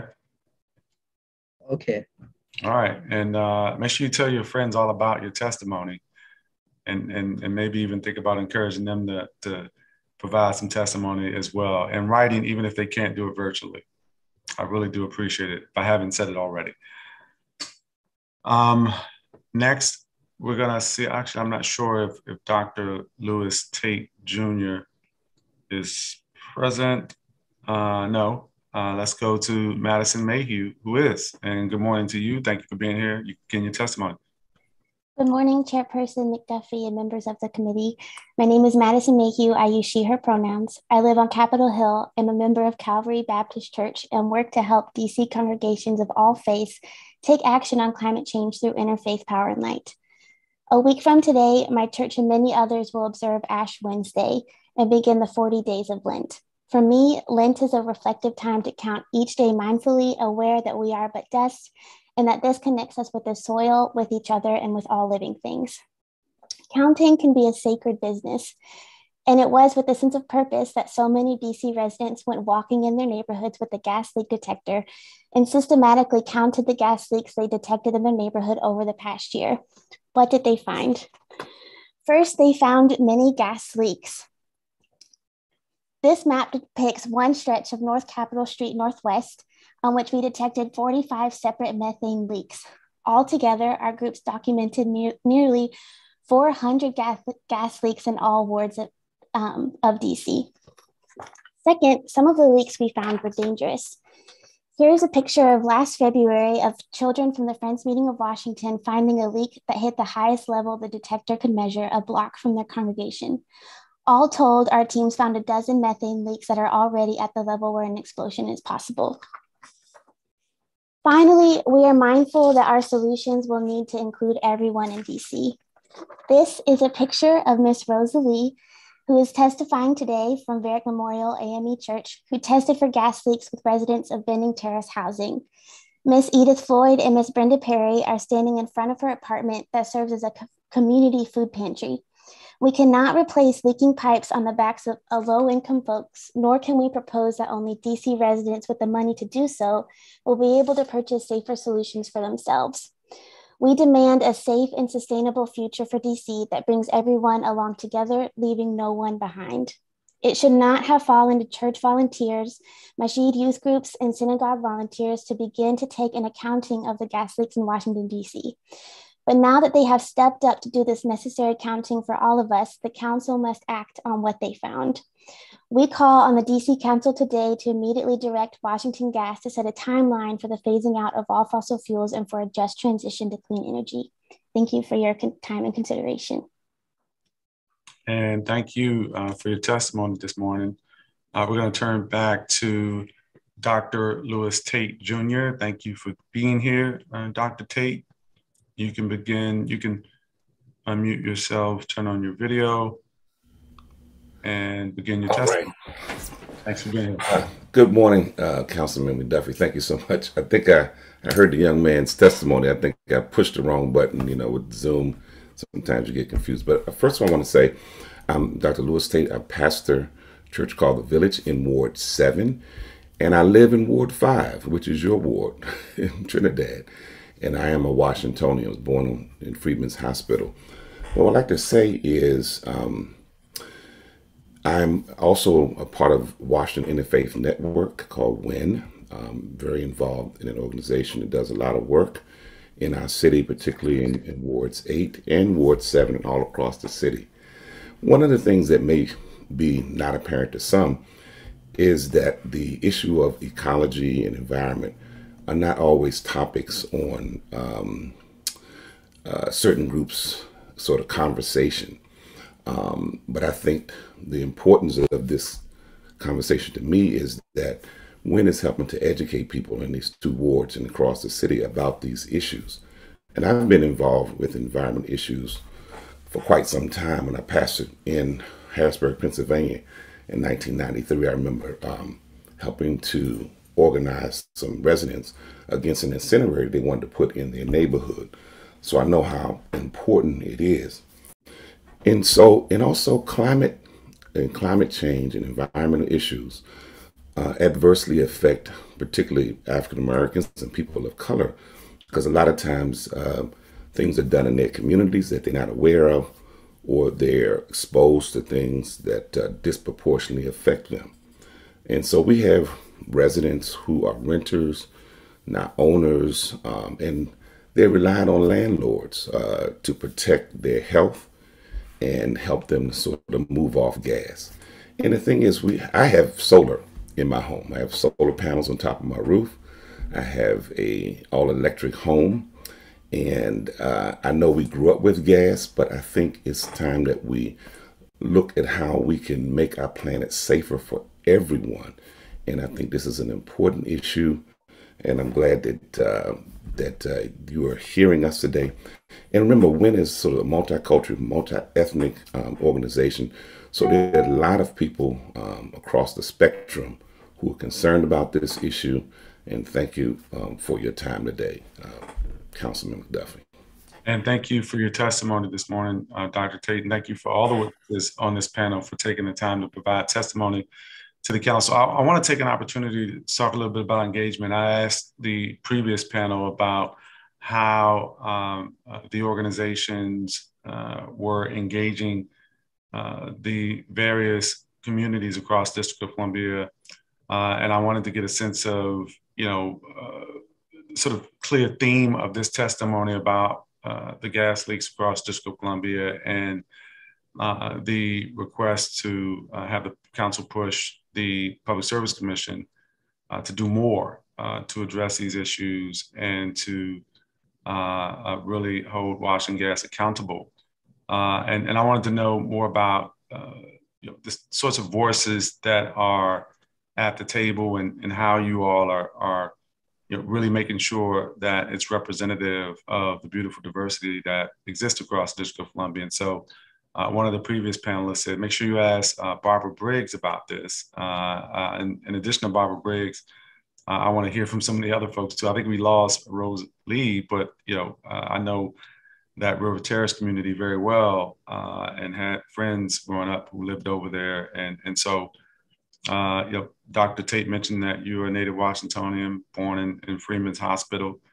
Uh, you know, not always the types of uh, people who are, are, are really testifying about these environmental issues. And I've really pushed our government agencies and you know others who are doing work with the government, DCSEU comes to mind, uh, to make sure that they're doing more to reach across the District of Columbia so that everybody understands the benefit of some of the uh, policies that exist, some of the programs that are funding uh, some of the initiatives. Dr. Tate, you mentioned that you have solar. Uh, and yes. a lot of folks are, are, are, you know, putting solar, having solar install, installed on the rooftops. Uh, and I want to see more people who, who understand, particularly minorities, who are understanding the benefits of these types of programs. So I'll throw that out there to, to you all. And I'll begin with Barbara Briggs, uh, since it was mentioned last panel that we should uh, definitely ask you that question. Uh, but anybody, I would love to, to, to hear weigh in. I know how important historic St. Augustine's Catholic Church is to uh, the District of Columbia in general, but into to, to Black Catholic community of which I'm a part. Uh, I know how important it is as an institution. So I would love to hear from you too, Alyssa Hackerson, in terms of just your involvement, the community in which you all are sort of bringing into this conversation and and and who's at the table uh, helping to make some of these decisions. Barbara um, McDuffie, Chairman McDuffie, if I could go before Barbara, because Barbara has a lot more to say than I do. sure, that's fine. Um, I'm just very. I don't know about that, but sure, you can go. Before. She does. We're long-winded, maybe. Right, right. Um, so at St. Augustine's, we our school's in the process of getting solar on the school. It's been a long process, but that's coming. Um, as the social justice um, advocacy ministry chair, I am making a concerted effort to make sure that our parishioners know about Solar for All. I'm a little concerned to find out what I heard this morning in the previous panel that Solar for All is struggling paying people or something's going on there. I have to look into that. But I will also like to say that um, we met, when met with the Office of the People's Counsel back in November, and they are, um, I, I, I, think, advocates for making um, the, the, transition possible, and they're aware of the equity issues, and they also have concerns about, from the meeting that we attended at our WIN group, um, they said it's going to take 30 to 40 years to get off of gas. Um, but they also said it was Sarah, I think it's Sarah she's an attorney there, Kogel Smucker, said her concern is that most people don't know what a conduction oven is. They don't know about the big changes that are coming. And at St. Augustine's, we're, I'm very concerned, our pastor, uh, Father Pat, is very concerned that our people don't know enough. So anything that um, this that PSC can do, that the council can do, council can do to broadcast the efforts that we are, we need to electrify. Go ahead, Barbara. And I'll just before before uh, Barbara Briggs goes, I, I want to just say uh, thank you for sharing that. Um, but the the Office of People's Counsel also uh, plays a role, and and they, you know, really, you know, in my experience, uh, have been good at engaging with the various community organizations, civic associations, advisory neighborhood commissioners, and other uh, constituents across District of Columbia to engage and share some of the information that's going on uh, uh, in terms of the business before the Public Service Commission and, and really being an advocate for consumers uh, uh, in terms of the matters that that are pending before the Public Service Commission. And so, if you all haven't had an opportunity to speak with folks at OPC, I would suggest you also uh, do that when you have the opportunity. Barbara Briggs, to weigh in? Sure. Uh, first of all, um, I, I, am so appreciative of your concern for diversity and that all the voices in DC are heard from. Uh, it's that's very shared. Uh, Friends Meeting of Washington has had the, the privilege of working with the Washington Interfaith Network and the Interfaith Power and Light which represents dozens of churches, synagogues, and mosques across the DMV area. Uh, Washington Interfaith Network alone represents uh, over 40 uh, houses of faith, including many east of the Anacostia, uh, including Varick Memorial Church, um, which you heard about this morning, uh, Pastor Green of Varick Memorial has been extremely involved in, uh, in this project and, in fact, has submitted written testimony. Uh, Pastor Bill Lamar of uh, Metropolitan AME is also very involved with this effort and has really brought this issue of transition from fossil fuels into his effort at Black equity through home ownership, which he's kind of heading up. Um, so I think that might answer part of your question. I mean, what we are seeing is very broad based concern about both the climate and health impacts of gas. The fact that there's a sort of a, a policy vacuum in terms of getting DC off gas, and the fact that the Public Service Commission has asked for a mandate from council, evidently needs one. And so our request right now would be please provide the Public Service Commission with a mandate, a requirement to engage with this and move DC off all fossil fuels, but particularly gas, efficaciously and speedily and in a manner that's just and doesn't place additional burden on DC's low income uh, residents and communities of color. I uh, appreciate uh, that that feedback. That's really helpful, and, and, I appreciate all your testimony. Although not that you all don't have enough on your plate, but I, I will throw uh, onto your plate uh, something that I've raised consistently in, in my nearly ten years on the council. Uh, that you know uh, some of the concerns that have been raised by communities that that are in and around Ward Five. Dr. Tate, you mentioned that you you are Ward Five resident.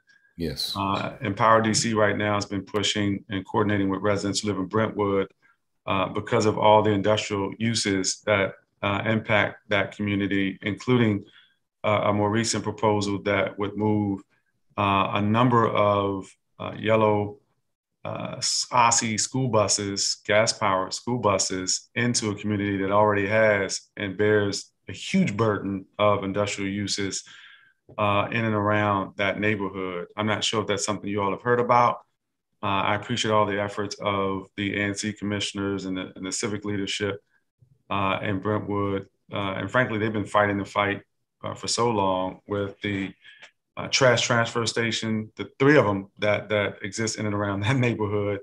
and, and they have salt domes, they have DPW dump trucks, they have other government uses that really play uh, that community. Uh, and we don't typically get a lot of folks to come down and testify about these issues. And so when the council proposes to move uh, all these buses into that community that's already impacted, uh, I, am frequently the sole voice on the council who speaks up uh, for those neighbors. And I would love to have more of a diverse constituency of people understanding about the plight of communities like that that have been impacted by um, I think government decisions that were made decades ago, uh, but nevertheless, uh, most burden uh, minorities and people of color and communities of color uh, who don't always have the resources, uh, despite the efforts of the elected officials like me and others to, to push back on some of these things. So, uh, just add one more thing to you all's plate. I, know that you all are very organized. Clearly, the theme was a central theme of the, the all these witnesses uh, today, and I and I hear you loudly and clearly. Uh, Councilman, Sure. Yeah, please. And then I'll yes. Um, yeah, because I'm a resident of, of Ward 5, as I said, and I'm pastor in Ward 7. And I'm very concerned about these issues, uh, not just locally, but also nationally and globally, because it is, um, you know, the more incidents of, of asthma and um, different kinds of things that affect our communities. And, and I think too, perhaps we can have further conversation because I'm a Ward Five member. Find out I mean, when we are doing uh, educating and doing stuff, but it certainly would um, be helpful to sort of put our heads together to figure out how we can uh, get more information out to uh, disadvantaged communities who are normally not involved in these kind of conversations, so they understand the importance of it. And also think too, it would uh, uh, in terms of your own fight and what you've been doing, uh, then people can kind of readily see, okay, you know, Councilman Duffy is, he's really, this is an issue that's near and dear to his heart. So I think it's important, and you know, to figure out how we can, because I hear what you're saying, there's just not enough of, of, of, of, of, of particularly African Americans who really understand. I mean, they're affected by it, their health, um, you know, all kinds of things, housing, all kinds of issues but sometimes they don't they don't really know how to attack this issue or what really is actually going on. That's why when is so important. But we also need to work in collaboration with you and your office and, and others who are concerned about these issues as well. Certainly. Uh, thank you for that, Dr. Tate. Uh, Barbara Briggs. And then I want to call on. Uh, yeah, just really quickly. Um, I really take to heart what you're saying about the, the it makes no sense for the district to be investing more money in, in fossil fuel dependent vehicles, for instance, the buses you're talking about. Um, and, and the, the fact that that really impacts frontline communities, communities in those neighborhoods is, is important. Uh, it's going to take money to do this transition, but there, the, the, the technology is available. There are electric buses. We need to buy them. We need to buy them quickly so that those neighborhoods are not affected by the emissions.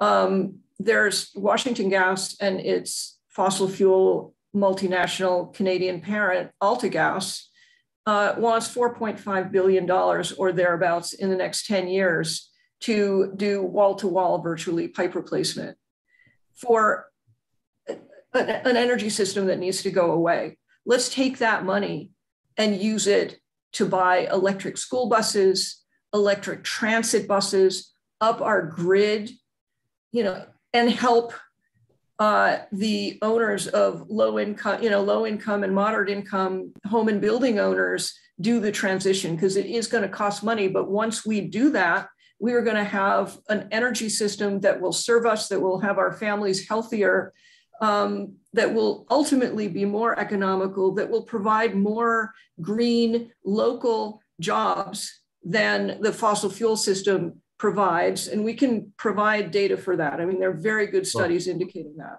Before I turn to Ms. I want to just, you mentioned jobs and, and more economical. I think part of the conversation I would love to make sure that you all are having, and please feel free to reach out to my office. Uh, this committee is the Committee on Business and Economic Development. I've been a champion on racial equity and closing the racial wealth gap in the District of Columbia. Part of the conversation that we should always include when we're talking about these issues uh, is making sure that more minority owned, women owned businesses are doing some of the work. Uh, when you're talking about you know installing the solar that you know St. Augustine's would like to put on its rooftop and, and some of the other homes, uh, what kinds of uh, minority owned businesses are involved in that work? Uh, if you all help me advocate for that, uh, th- these folks are, are, are, are, running businesses and typically they go out of their way to hire people who live in these communities uh, that have been pushed to the margins and, and, and frequently are less well resourced. Uh, and so I think the, the multiplier effect of making sure that minority and women owned businesses in the district are a part of the equation as you're uh, uh doing some of this work around the city, uh, I think is also important too. So I'll, I'll throw yet another uh, thing on you all's plate. And I'm to turn to Michelle Hall. I saw your hand up, and then I want to ask Ahmed about uh, how he got involved in some of this work and, and what the council could do to, to really engage uh, him and, and some of his friends. So Michelle Hall first, and then I'll turn to uh, Ahmed uh, after this. Yes. as a member of the River Terrace Community Organization and a Varick church member, Varick and River Terrace a lot of times have worked alongside with one another. Awareness is key, and we know that clean air should be a basic right. We have dealt with David and Goliath situations numerous times throughout our community with Pepco, with Shell, with the hydrogen stations. The first that was the first hydrogen station that had ever been placed in a residential neighborhood. So we've been guinea pigs. But you asked earlier about how do you disseminate or get the information out. Our community has monthly civic meetings.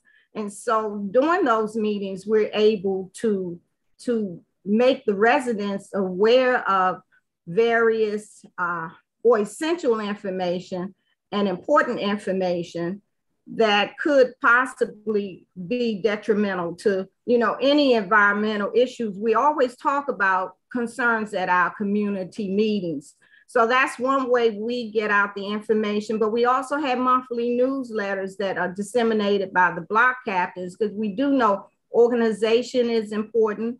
It's important to be proactive and not reactive We've galvanized numerous times for protest demonstrations and testifying at, at hearings. So our community really works hard to unify and to speak out against any environmental or social injustice that we see or deem as important. And that's what I, I wanted that. to That's share. very helpful. Thank you for sharing that. Uh, and then I'll turn uh, to Ahmed uh, just to let me know how, how you got involved uh, in this? Is and, and also, is there anything that you would like the council to do beyond uh, um, this particular issue to better engage you and your friends with some of the issues that are impacting our environment? Okay, so um, I got involved in uh, this by uh, I had like like I said I had gone on a group um, with uh, Barbara Briggs. She was also in the group and like she like showed me like how to check for gas leaks with the device that she had. And um, some things that I think we could do to like um, maybe like convince uh, people to like uh, stop using gas is to like maybe use electric stoves and electric fireplaces.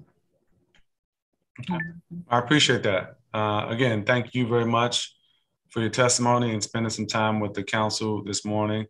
Uh, you did a great job, uh, and, and it's really helpful to the work that we do down here at uh, the Council of the District of Columbia and on this committee in particular. Thank you to each of the witnesses for your testimony here this morning. I really do appreciate it.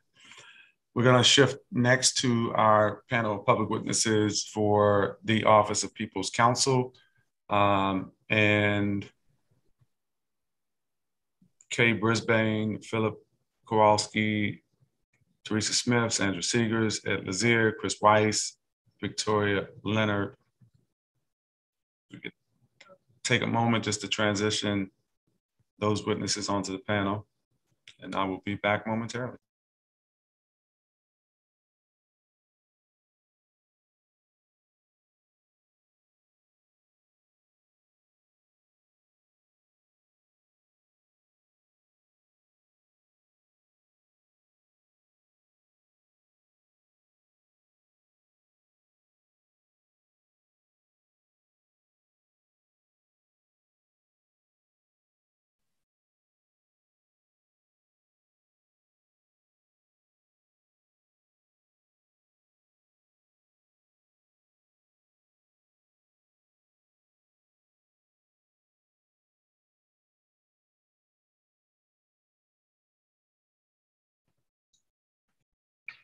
Okay, uh, see some familiar faces from this next panel popping in. Um, is I see, okay, the first witness, Kay Brisbane, is here. Good morning to you. Thank you for being here. You can begin your testimony. Good morning, Councilman McDuffie and Councilmember um, Pinto. My name is Kay Brisbane. I live in Ward 5. What would you do if you woke up in the middle of the freezing cold night to find your radiators cold?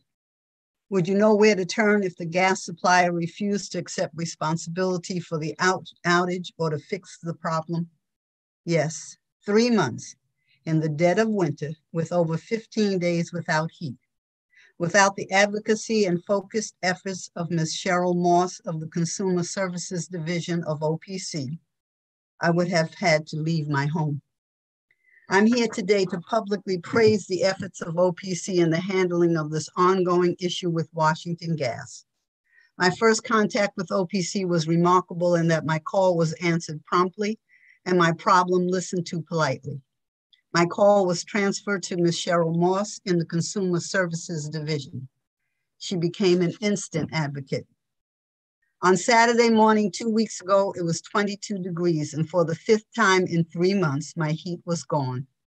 I left, I left Ms. Moss a phone message explaining that I had no heat again and that I had called Washington Gas and been told by an employee that that was not an emergency and I would have to call back on Monday. She immediately contacted the gas company and got them to send a team of technicians to get my heat on. She has taken the time to understand that the antiquated, low pressure gas line to which my home and several others in this area are connected is the problem. Rainwater and snow melt leak into the main line, which causes the gas to be shut off to our homes. She knows that the gas company has not connected our homes to the high pressure main that is already in place. And she has enlisted the aid of the OPC's legal counsel and encouraged me to file a complaint with the Public Service Commission. Ms. Moss is tenacious in dealing with Washington Gas. It is clear that the OPC exemplifies public advocacy at its best. It is what you hope to find at a public service agency, and when you do, even monopolies are forced to respond. Please note, though, after listening to testimony from the first group of panelists, that my, my suggestion and concern is one, that we're breathing and continually being exposed to methane gas. I did not know that before this. So the issue around publicizing the concern is a major one, Councilmember McDuffie.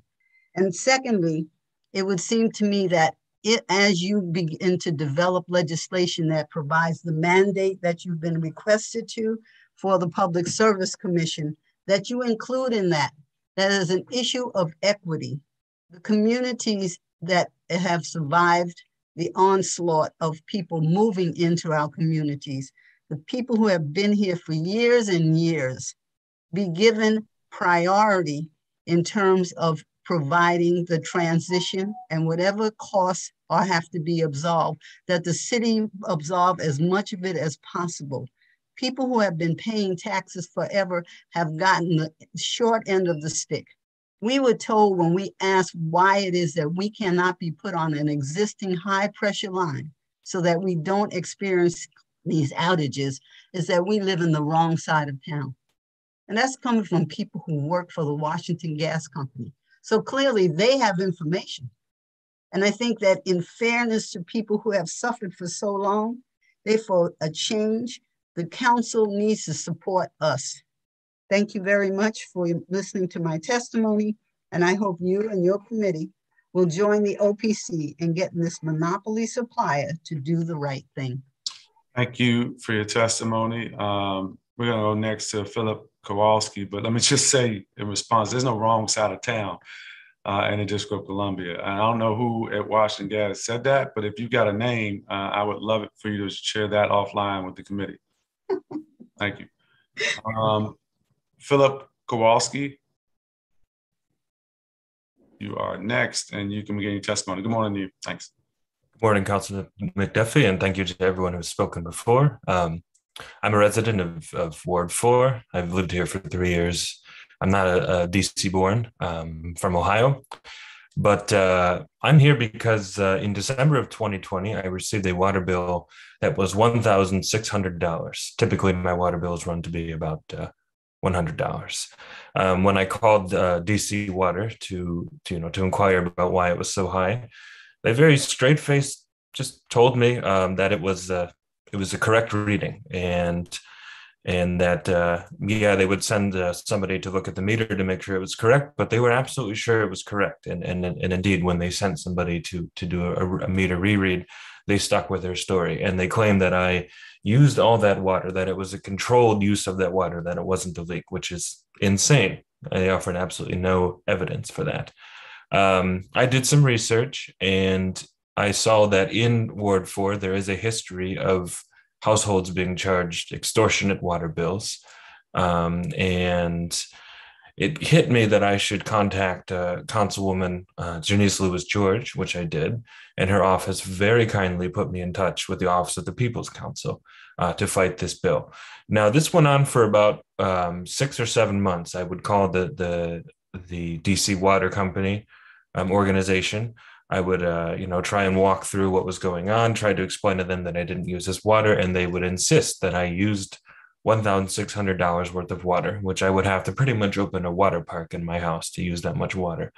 Um, they really wouldn't drop it. I thought I was going to lose the case. It was going to go to court, but then Stephen Dudick of um, DC Water, um, uh, of the Office of People's Counsel, got involved. He's a lawyer there, and he contacted DC Water. And a few days before the court case was supposed to happen, um, it was dropped thanks to Mr. Dudek's um, um, support for me and and from in he very you know carefully got you know looked through my case, looked at the evidence, and and laid it out to to DC Water, and they dropped it. But what I want to say about this experience is that I, I I'm lucky I was able to get support from Mr. Dudek and I knew to to contact them thanks to Janeese Lewis George's office. But I can't imagine how many other people there have been besides me who have gotten these extortionate water bills and who have been forced to pay because they didn't know what kind of resources they had available to them. I hope this never happens to anybody else. And um, I'm so thankful for for Mr. Dudek and for the Office of the People's Counsel and Janeese Lewis George. That's all I have to say. Thank you very much. Well, thank you for saying that. I appreciate your testimony this morning, and uh, I want to turn next to Teresa Smith. And good morning to you. Thank you for being here. You can begin your testimony. Good morning. Successful investigations, resolutions, great professional and personal understanding of consumers, and a job well done to the Office of Poli- the People's Counsel. It's a wonderful day in the District of Columbia to testify concerning the accomplishments of OPC. My name is Teresa Ann King Smith. I'm a current homeowner of over 30 years, Ward 8 resident for over 50. And I retired from a law firm a couple of decades ago. But it's important that you know that OPC was my advocate. Let's celebrate. I'm a senior and a member of the Congress Heights Senior Wellness Center. And OPC was there to tell us about what they can do for us. And later on, they told us some things virtually. During the pandemic, I applied for the LEAP program in the UDP um, application center, and I always send my stuff through certified mail. Oh boy, did I get the runaround. I called Miss Rashida Boyd and she was poised and sprang into action. Not only did I send the documents to her that I sent in 2019, but I filled out some more in 2020, and she was able to get positive response from the Department of Energy and Environment. She also said, What should I do in addition to help Miss Smith now? It's not what happened last week, last month, or last year. Well, DC, WASA, and PEPCO accounts were secure. I had no worries because I'm considered a big mama if you hear the noise in the back, because I help essential personnel during all this, by providing daycare free of charge because you want somebody that can take care of your children. And you know, without water or PEPCO, I wouldn't be able to do it. Anyway, I did continue to make some payments, but not the amount requested. I couldn't pay hundreds of dollars a month because I'm retired. But with everything going on, DC's emergency funding being depleted, they were able to assist me in benefits for PEPCO. But Miss Boyd, even though I was my case was officially closed on August the 9th, navigated me through other paperwork so that the thousands of dollars due to DC WASA was paid. They subsequently found out that I didn't owe that much money because how many times can little tykes go to the bathroom? I wrote a letter of thank you for her fantastic professional and heartwarming service to Miss Boyd. In my personal opinion, not only should they continue to receive the amount of funding that they have in the past, but it should be increased. Uh, I also would like to say on a personal note that Ms. Boyd was able to speak with me during the pandemic, and she did learn that I was helping. My model is, what can you do for me now? I was working with the district government by making sure that essential personnel were able to go back to work because if they didn't have childcare, our um, home care workers, I have some people that work as social workers in the nursing homes they couldn't go. They couldn't leave their two, three, five year olds home. So sure. I didn't have a real daycare, but they knew they could count on Big Mama, Grandma at any time. If you well, have any questions, please ask me. Uh, I will certainly ask you if I have any questions. I want to first thank you for that energy uh, that you provided and maybe bottle it up and send someone over. And I appreciate that. Thank you uh, for being here and providing that testimony, uh, Teresa Smith. We're going to turn next to a familiar face, uh, Sandra Seegers, uh, who uh, is here this morning. Thank you for being here. Uh, you can begin your testimony. Uh, you are muted. I'm, I'm tickled because I'm gonna start by saying I don't have the energy. That's a hard act to follow. So let me do what I do because I can't do that. good morning, good morning, good morning. Uh, that was fun. Um, I'm a Ward 8 resident. I have attended community meetings where Sandra Frye and her staff has done presentations to educate the community on its rights as it pertains to the utility companies. They go above and beyond the call of duty for the residents of DC. They have been able to get utility payments deferred and late charges removed. They also assist residents in getting financial assistance with their bills to avoid disconnected services. There's one particular case where in Ward 8, a senior uh, with serious health problems was behind her bill, specifically the Verizon phone bill, which was part of a package deal with the phone and cable and internet. Reverend Anthony Motley and I contacted the Office of People's Counsel. I spoke directly with Linda Jefferson from OPC. She did all the legwork necessary to have her Verizon bill paid. OPC worked out a payment plan with Verizon, discussed with the resident the best package plans used on, on her need, for her needs and income. Office, Office of People Counsel connected the resident with their community partner, the United Planning Organization, UPO, to help with financial assistance. The fact that OPC attended the short-term and long-term needs of the senior helped immensely, allowing the resident to put more time and attention to her health challenges. OPC reflects what good coming, excuse me, oh, I had to change pages. OPC reflects what good government looks like because that is what good government does. They are citizens, citizen focused. They are accessible, attentive, effective, and with forethought of the long-term impact. They are not like many agencies who step away from the situation after merely giving their citizen a phone bill, a phone number. Additionally, is there any way you can provide financial assistance with telephone service and internet the same way there's financial assistance with electric, gas, and water from the government for the seniors and the income, low income families? Um, and I want to speak on the uh, situation I had years ago with the water department. My bill is normally, at that time, it was low. It was about $20 a month, a quarter really at that time. And one day I got a $300 bill. I refused to pay it because I knew it was ridiculous. So back then, um, I contacted them. That was, that was my first time hearing of them. And they stepped in and they made them come out, fix the meter because the meter was broken. And the water department said, well, go ahead and pay the $300 and you wanted to pay a bill for a couple of years. And I said, no, I'd rather keep my money in my pocket, just pay you what I need to pay you. So they are a big help um, for everybody. Anybody and everybody should know about them and be able to contact them for help. And they will help you. And thanks for listening. And thank you for your testimony this morning. We appreciate it. We're going to turn next to Ed Lazere. It is good to see you. Good morning to you. You begin your testimony.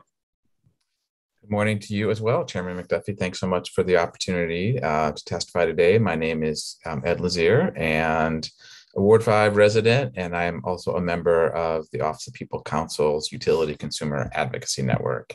Um, the Office of the People's Counsel plays, as you know, an important role in representing the interests of DC residents and utility customers, as we've already heard uh, in this hearing, uh, weighing in on a wide range of utility issues. Um, they represent the interest of me and other ratepayers before the Public Service Commission and other regulatory bodies.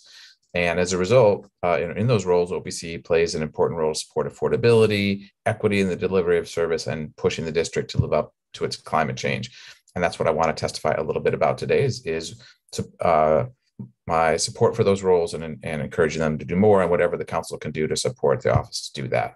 Um, I appreciate that the Office of People's Counsel created the Utility Consumer Advocacy Network, giving me and other members of the community an opportunity to weigh in on the OPC agenda and help disseminate its information to DC residents. Um, the things that I'm most like supportive of or related to OPC are its work to support uh, energy affordability, uh, both educating residents about what's available and then advocating for more energy affordability. So OPC studies around water and energy affordability with a focus on lower income households have been important. I know that OPC has played a role in this pandemic to help make sure that residents have um, can get connected to assistance, whether that's LIHEAP or state, state EC or other forms of assistance to pay for energy bills when they could not because of the pandemic.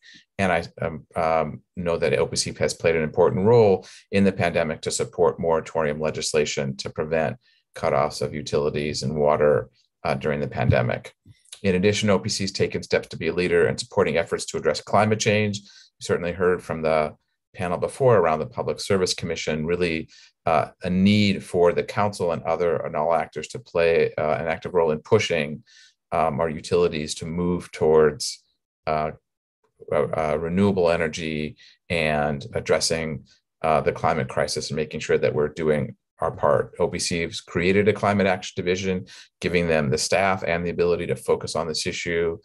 Uh, they have focused very much on that climate change is an environmental justice issue and is pushing the Public Service Commission and, and others to make sure that we are thinking about equity when we are addressing the impacts of climate change, knowing that communities with high levels of un- unemployment and poverty are also those that are most affected by climate change. And they've weighed in um, specifically to push PEPCO uh, to make sure that utility climate change plans are centered around equity. Uh, they've weighed in with the Clean Energy DC Omnibus Act, advocating that the Public Service Commission put a numerical value on equity, again, pushing the Public Service Commission and last year, OPC held a community conversation on climate change and environmental justice. I appreciate all these efforts and just wanted to speak up in support of them, encourage them to do more, encourage the council to support this office as much as possible and to play its role in supporting OPC's efforts to around energy affordability and climate change. So thank you very much for the opportunity. And thank you for your testimony. Uh, next uh, is Chris Weiss, and good morning to you. Good to see you. You good morning. Good morning, everybody. Chair, Chairperson McDuffie and staff. My name is Chris Weiss, and I direct the efforts of the DC Environmental Network. I'm also honored to serve in the Office of People's Counsel DC Utility Consumer Advocacy Network. I'm here to share DCEN's thoughts on the performance of the DC Office of People's Counsel.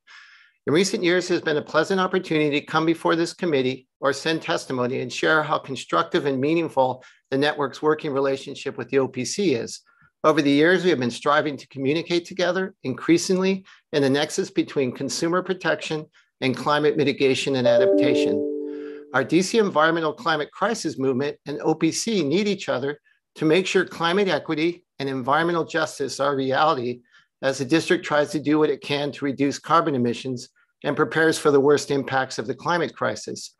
OPC recently gave the DC Environmental Network a voice on their DC Utility Consumer Advocacy Network that serves as a forum for sharing information and perspectives, including us in this consumer protection conversation is appreciated and helpful as we try to engage the pressing climate crisis. Last October, the DC Environmental Network took part on a panel at OPC's community conversation, The Price You Pay, Straight Talk About Climate Change and Environmental Injustice. Last December, People's Counsel Sandra Mattavous-Frye participated on a panel at the DC Environmental Network's Next Big Thing Climate Crisis Conference, along with representatives from the Council and Executive Public Service Commission and Climate Change and Resiliency Commission. OPC has been growing their internal infrastructure to include a climate action section and have sponsored important educational webinars on issues like how to prepare for flooding. The DC Environmental Network agrees with OPC's climate resiliency principles, including equity requires that resiliency measures benefit consumers in all eight wards. An essential component of an effective climate resiliency plan is energy affordability. Flood insurance requirements must be affordable and equitable for all district residents. Consumers must be educated about the impacts of climate change, mitigation measures, and climate and flood resiliency options. DCEN is committed to engaging conversations and collaborative efforts alongside OPC to engage equitable climate crisis policies with DC consumers in every ward. The climate crisis is here. The district, the region, and the planet is not even close to being able to push back against the latest United Nations emissions gap report prediction of a global temperature rise of 2.7 degrees by the end of the century the status quo cadence of climate crisis policy development and implementation in DC and across the globe will lead to economic and environmental failure unless we work together. The strong climate crisis engagement and collaborative spirit of the Office of People's Counsel makes DCEN hopeful that we can, for example, eliminate polluting gas from our homes and have a shot at reaching our climate crisis mitigation and adaptation goals in our nation's capital city. Thank you. And thank you for your testimony uh, this morning. We appreciate it. We're going to turn to our final public witness for uh, the Office of People's Counsel, and that is Victoria Leonard. Good uh, to see you this morning, and uh, you begin your testimony. Thank you. Thank you, uh, Chair McDuffie and Councilmember Pinto, um, if you're here. Uh, thanks for holding this hearing. I'm Victoria Leonard, and I'm the Political and Legislative Director for the Baltimore Washington Laborers Council. We are the local affiliate for LIUNA, and we rep represent more than 7,500 members across DC metro area. And many of our members live and work in the District of Columbia. And like uh, the, the two previous um, speakers, I am also on the UCAN and I represent the construction trades. And OPC established the UCAN about four years ago and I'm proud to say that I've served on the UCAN since its inception. And as you heard from Ed Lazere, the mission of the UCAN is to keep OPC staff informed about utility consumer issues and concerns. And despite the obstacles created by the pandemic, the UCAN has continued to fulfill its mission. And thanks to technology, we've been able to meet via video conferencing. And in fact, we have a meeting scheduled for next Tuesday, March 2nd. And as one of LIUNA's frontline points of contact with OPC and as a member of UCAN, I'm confident in saying that OPC does a great job representing the interests of DC residential ratepayers. For example, OPC recently established a climate change section that is focusing on equity issues as the district seeks to implement its clean energy plan. And the climate change section recently issued an equity assessment to help guide the city's electrification efforts. And this assessment was done by the Applied Economics Clinic and includes a number of recommendations to ensure a just transition. And I'm sure um, OPC um, Sandra Frye will, will be talking about that in her testimony. Um, ensuring a just transition is really important to LIUNA, and that's because the shift to electrification means a shift away from natural gas. And we heard on the earlier panels um, a, a very strong desire to shift away from natural gas. LIUNA members perform most of the gas pipeline replacement in the district. And so this shift to electrification means that their jobs are going to disappear and become obsolete.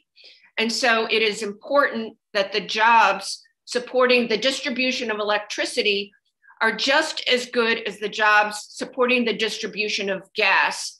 And the formation of OPC's climate change section group helps ensure that the equity lens includes job quality. So in closing, OPC does a first class job representing the district's residential ratepayers. Under Sandra Frye's leadership, OPC is an effective and important counterbalance to the power of utility companies. OPC staff is accessible, skilled, and forward thinking, as the formation of the new climate change section demonstrates. Um, thank you, Chairman McDuffie, for holding this hearing. All right. Uh, and thank you to each of you for taking the time out of your schedules to provide testimony about the Office of People's Counsel. Let me just ask, generally speaking, um, in your interactions with uh, the office, um, and they've obviously taken on more things over the years, but years, some of the, the work they're doing in their water division, uh, and, and you know, uh, you just mentioned, Ms. Leonard, the work that they're doing with the, uh, their climate change section. Uh, do you all think they have the resources that they need to be able to do this work and, and to help the district meet its climate goals through its advocacy on behalf of uh, its customers?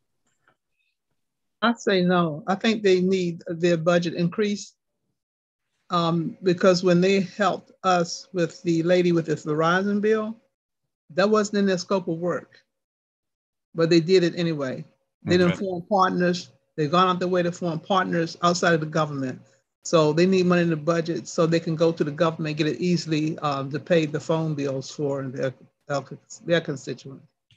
And I, I also agree because of the fact that um, Miss Boyd actually had to take it upon herself on her own time to find other resources at that time to take care of my DC water bill because the DC um, benefit funding was exhausted. And it's hard to explain, well, we're going to research if Miss Smith actually uses it. It's either you have it or you don't. But she was very, very adamant about helping me. And this way it wouldn't have taken an extra four or five months for her to complete it. Or either uh, she had other um, resources outside of uh, the government and in the community. So I applaud her on that. And I'm sure she's not the only one that did something like this.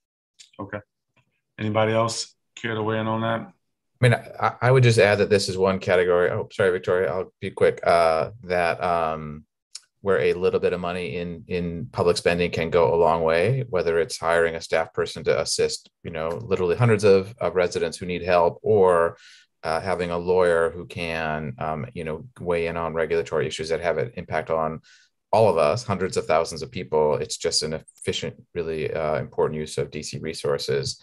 And in that way i think anything you add to opc will make it a much stronger agency and help us all. I would agree with that. Um, they can never have enough resources, especially in addition to the need to hire uh, staff attorneys and um, consumer helpers. Um, there's, they also need to hire expert groups like the Applied Economics Clinic, who did the, the study for them on um, climate change and equity. So it's important that they have um, enough resources to do the job well and um, be, be a strong counterbalance to the utility companies. Okay. Kay Brisbane, you have your hand up, and I'll, then I'll yes. go twice after that. Okay. Um, I, I'd like to add that one of the big issues I found in researching the issue that we have in my three block area is that there are at least so far seven people, seven homeowners that are having the same issue that I'm having, a loss of heat because of, of cracked pipes. None of the people I talked to knew that they could go to the Office of the People's Counsel to get help. I think that's a big issue, especially in our community, where there are many older people and many people who just have never had that kind of interaction with public entities. So if they could get funding for more outreach, I think that would be great. Okay, thank you for that. And uh, Chris Weiss? Thanks, Chairman. Um, you, you had a, a really wonderful uh, stream of questions related to outreach. You know, how do we get the word out? We talked about the gas testing and, and all the different groups involved in that. Maybe you can ask Sandra if she needs money for to increase that, that or other types of outreach. on, on all these issues on water and energy. Yeah, I'll ask her. I'll, I'll tell you, sometimes you have, uh, it's not often, but you do have some agencies that sort of victims of their own success. And I feel like um, whatever the resources they do have, uh, OPC is one of the agencies that manages to really engage in a way uh, that I don't always see from other agencies. In fact, I think in a way that I would like to see uh, more from other agencies. And so um, I, I, will ask for that though uh, to see if they need additional resources on the engagement side. So. and fair. that would be excellent. As I said, that we have a proactive director at um, Congress Heights Senior Wellness Center. So mm-hmm. OPC comes regularly, once, twice a year. And I'm thinking about all the other centers that I've had to go to and say something about, or in um, religious communities.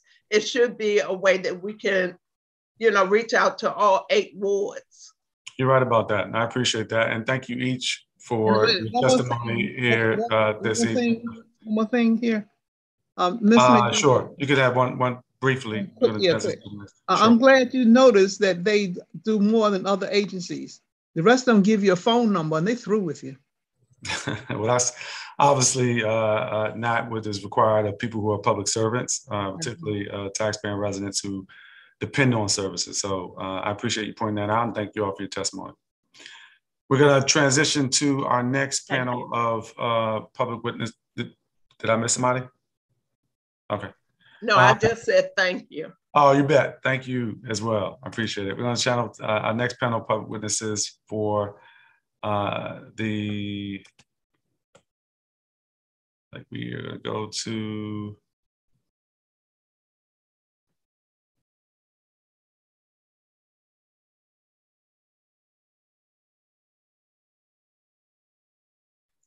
Nice seeing you again, Sandra. You too. You still have the energy. Thank you. Wow. Are we transitioning out? Yes, I think they're going to put us back in the other room. They don't want us to go. All right, I'm gonna I'm gonna ask you all to go ahead and mute yourselves because we're actually no, gonna start. they don't want us to go. we're gonna start with the uh, with the next panel of public witnesses for the Alcoholic Beverage Regulation Administration. And while uh, staff is transitioning uh, those witnesses, I will just mention that uh, the Alcoholic Beverage Regulation Administration, or ABRA, uh, has a mission to support the public's health, safety, and welfare through the control and regulation of the sale and distribution of alcoholic beverages in the district. ABRA conducts licensing, training, adjudication, community outreach, and enforcement efforts to serve licensees, law enforcement agencies, advisory neighborhood commissions, civic associations, and the general uh, public so that they understand and adhere to all district laws, regulations, and ABRA policies. Uh, let's begin with Naima Jefferson is the first person on the public witness list. Uh, and good morning to you. Can you hear me? Uh, good morning. I can hear you. We can't see you. I don't know if you want Hi. to change the video. Good morning, uh, Councilmember McDuffie. Um, I first wanted to say uh, thank you to the ABRA staff, uh, particularly I would like to thank Ms. Jenkins, uh, Ms. Sarah Fashball, as well as uh, some of the ABRA investigative staff for their work um, with myself as well as with our community. Um, but I also wanted to express some concerns that I have today sure. um, regarding um, ABRA regulation and how it uh, appears to be unequitably enforced.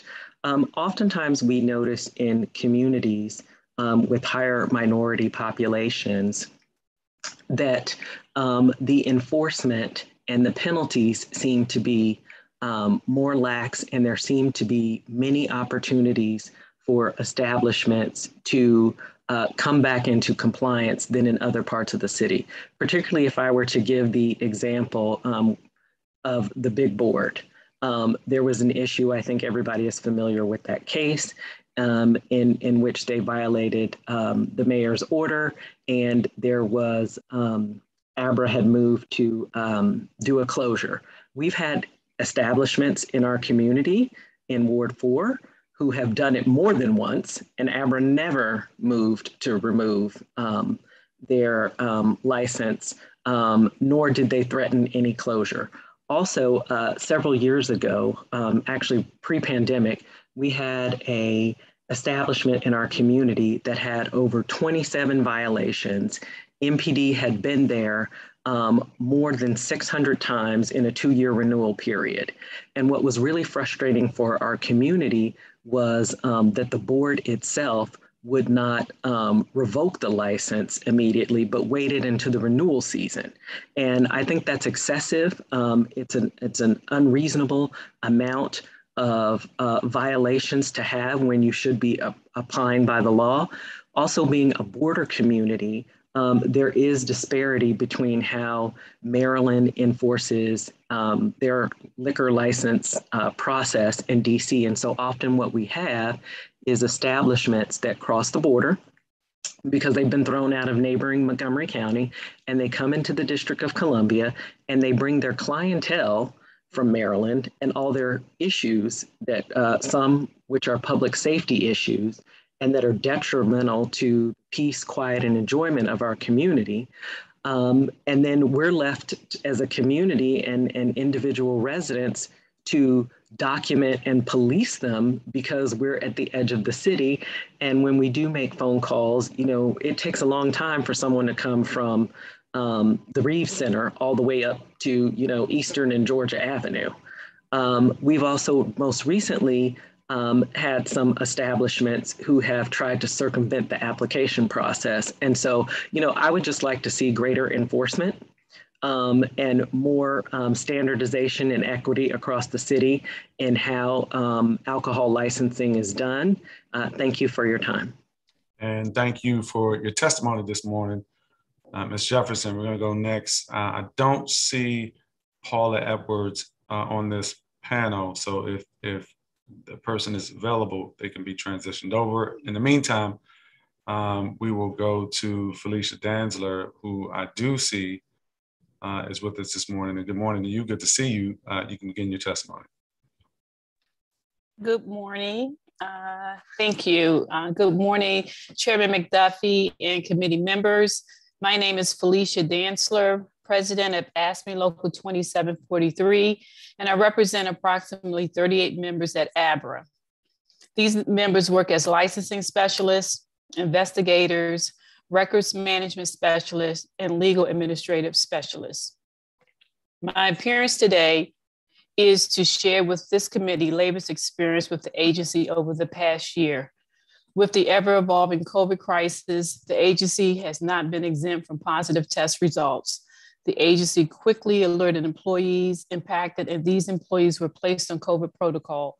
Many of my members had their telework increased from two days to four, and work was getting done. The only drawback was not knowing confidently that the workspace was sanitized after a positive test was learned. The agency provided provide sanitizing wipes, disinfecting wipes, sprays, gloves, and masks at each workstation. The past year, management and labor had a few challenges, with one matter resulting in a grievance.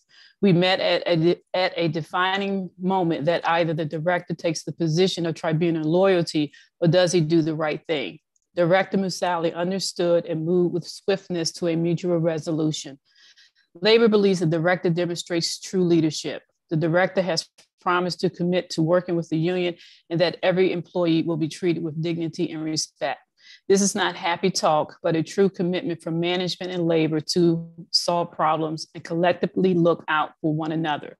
I know historically this is not how this should be, but it is working at ABRA. Thank you for the opportunity to speak, and I am available for any questions, comments, or concerns. And thank you for your testimony this morning.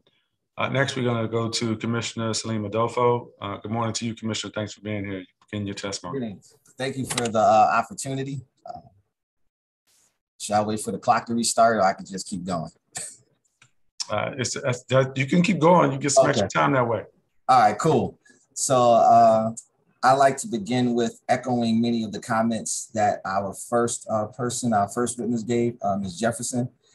You know, we're fighting a battle here in Ward 8, dealing with a lot of uh, issues that we're starting to see in other spaces in the city, a lot of gun violence. And in our community, there's a lot of gun violence that seems to always be around the liquor store. We know a few years ago, there was a young brother that was shot right at Holiday Market, uh, right in front of Holiday Liquors on Memorial Day weekend. Um, last summer, we had a young girl who was shot right in front of Mart Liquor uh, last July.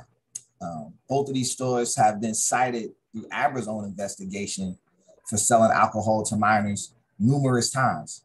Most recently, we had Spar Liquor, who is cited by ABRA for selling alcohol to a minor, even after checking ID in all of these different situations. And so, looking at the mayor's health equity report, it stated that I, I, I want to read the blurb very quickly. It's that stresses of living in neighborhoods with inadequate access to economic and educational opportunities has flagged as indicative of trauma at the community level. Reduced community safety in the district is correlated with gaps in health promoting community resources. Evidence shows that factors such as lack of jobs, racial and economic segregation, concentrated poverty, and high alcohol outlet density negatively impact community safety, quality of life, and neighborhood quality, as well as the likelihood of violence. Within our commission, within the corridor of Martin Luther King and Malcolm X, there are at least five places that sell liquor. You have two uh, Class A liquor stores within walking distance of each other, within a few hundred feet. I mean, it's Abra has the uh, code, I think, is maybe 500 feet apart but they're just a, a, a few feet uh, from that uh, threshold. And they're next to stores, they're next to, uh, excuse me, they're next to schools, they're next to the colleges, next to the park. And we're picking up excessive trash. It's the gun violence, it's excessive numbers of calls to service. And it's as though the ABRA board does not acknowledge that and see that that as a contributor to the violence in our community. We've had numerous residents sign petitions, sign letters, actually have physical protests out some of these spaces. And even the chief of police closed Mart Liquor because of its ability to keep contributing to the violence in our community. And so my testimony here is to ask that we we look at how the ABRA control board makes its decisions on which establishments can stay open or not stay open. Because we, we, the battle that we're fighting over here doesn't help when we have stores that sign up to say we won't sell alcohol to minors and do it. And then we see the level of substance abuse in this community. We see the level of domestic violence, and we know that alcohol is a big contributor to that. And I don't want to blame the liquor stores for all of these things because people have to be held responsible too. But we're all here in this community together. And I would caution Abra to think about the licenses that they allow to have in high concentration in this community, especially since we got a homeless shelter right next door. Thank you. For your testimony, Commissioner. Uh, turning next to Mark Lee. Uh, good morning to you, and uh, you can begin your testimony. Thank you, Councilmember McDuffie, Councilmember Pinto, Council and Committee staff. My name is Mark Lee, and I serve as the coordinator of the DC Nightlife Council, a local nonprofit trade association and business membership organization representing bars, restaurants, nightclubs, and entertainment venues of all types and sizes located throughout the city. DCNC will separately submit a written statement, and we thank you for inviting our organization to share a performance evaluation for the Alcoholic Beverage Regulation Administration at this oversight session. As you know, the past two years have been devastating for local nightlife hospitality establishments. The district has lost a significant number of both community beloved and long contributing venues to permanent closure, and many more establishments are currently teetering on the precipice of financial unsustainability. Both you, Councilmember McDuffie and Councilmember Pinto, the Committee on Business and Economic Development, and the entire DC Council have earned our great appreciation for supporting our city's nightlife business community by expanding service expansion opportunities during the partial shutdown period and initiating the Streetery program, and for allocating financial assistance for local establishments in order to allow venues to continue to significantly contribute to the economic development, fiscal health, and social and cultural landscape of our great city. Equally appreciated has been the outstanding performance by ABRA throughout this extremely challenging period. Director Moosally and the entire agency leadership team have demonstrated an unparalleled commitment to imagining, advancing, and stewarding both fundamental operating modifications and innovative new approaches to best assist our city's largest hometown business sector, primary employer, and major economic contributor that a series of mayors and CFOs have consistently calculated as measuring approximately 17% of the district's overall economic activity. Nightlife hospitality establishments interact with multiple district agencies on a regular and ongoing basis. Among those agencies, ABRA is the most accessible, best performer, performing, better communicating, and represents the business supportive standard to which other agencies should aspire. These factors are why the agency has been awarded well-deserved national recognition by multiple state government organizations for their commendable service and exemplary operations. The district is fortunate to benefit from both the regulatory compliance management and the public policy innovations provided by ABRA. In addition, the agency is a collaborative partner with the enterprise community by both intention and in function. We look forward to working with ABRA, the Committee on Business and Economic Development, the DC Council, and Mayor Bowser to continue examining additional regulatory reforms to ensure that the district's nationally recognized and uniquely independent small business nightlife business community has the opportunity to survive and thrive. Thank you. And thank you for your testimony. I'll make a call for Rabbi Jeffrey Kahn, who I do not see, uh, but if, if uh, is available, we can have him transitioned over. Uh, I want to call. I am here. Edwards. Oh, you are right there. You're right in front of me. Yes, but you know what? Let me let me call Paula Edwards first because sure. we had some trouble uh, transitioning. No worries. Over, and so we'll call Paula Edwards since you've been waiting for a little bit and you were number two on the list, and then we'll go back next to, to Rabbi Jeffrey Kahn. So if you want to unmute yourself and turn on your video, Paula Edwards. Um, I'll leave the video off because I'll lose the sound if I do the video. Okay. All right. Thank Perfect. you. Thank you. Uh, thank you, Council Member McD- Mc- Council Members McDuffie and Pinto for hearing my testimony today. and thanks to Sandra Kavinsky for getting me here. I'm a resident of Ward 4, native Washingtonian, and because another witness gave a shout out to Freedmen's Hospital, I was born at the old Columbia Hospital for Women. I'm here to testify as to my experience in interacting with the staff of the Alcoholic Beverage Regulatory Administration. I found them to be professional, hardworking, impartial, and dedicated to the mission of ABRA of supporting the public's health, safety, and welfare through the control and regulation of the sale and distribution of alcoholic beverages. I suppose the mission statement should be updated to include cannabis. Excuse me. The training and assistance provided by ABRA help both the regulated community and the public at large. I'm appreciative of the sessions conducted by Ms. Fastbaugh and others for the education sessions and their help in understanding ABRA rules and regulations. Ms. Martha Jenkins has, provided, has provided sage and even-handed help, even late on Friday evenings, and is a wonderful resource. ABRA investigators have ventured into areas that are sometimes dangerous and pursue their work with knowledge and professionalism. I would like the council to address the enforcement and regulatory discrepancies between the District of Columbia and surrounding Maryland counties that adversely affect border communities such as ours. I would also like the council to provide more funds to ABRA so that they can scrutinize applicants more closely and that burden does not fall upon the public when it protests bad actors who are trying to set up in their communities. This will only increase as, reg- as recreational cannabis enters the regulatory realm.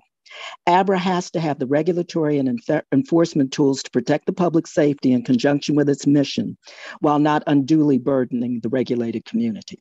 Thank you very much. And thank you uh, for your testimony. We appreciate it. Now we're going to turn to uh, Rabbi Jeffrey Kahn. Thank you for your patience and good morning to you. You can begin your testimony.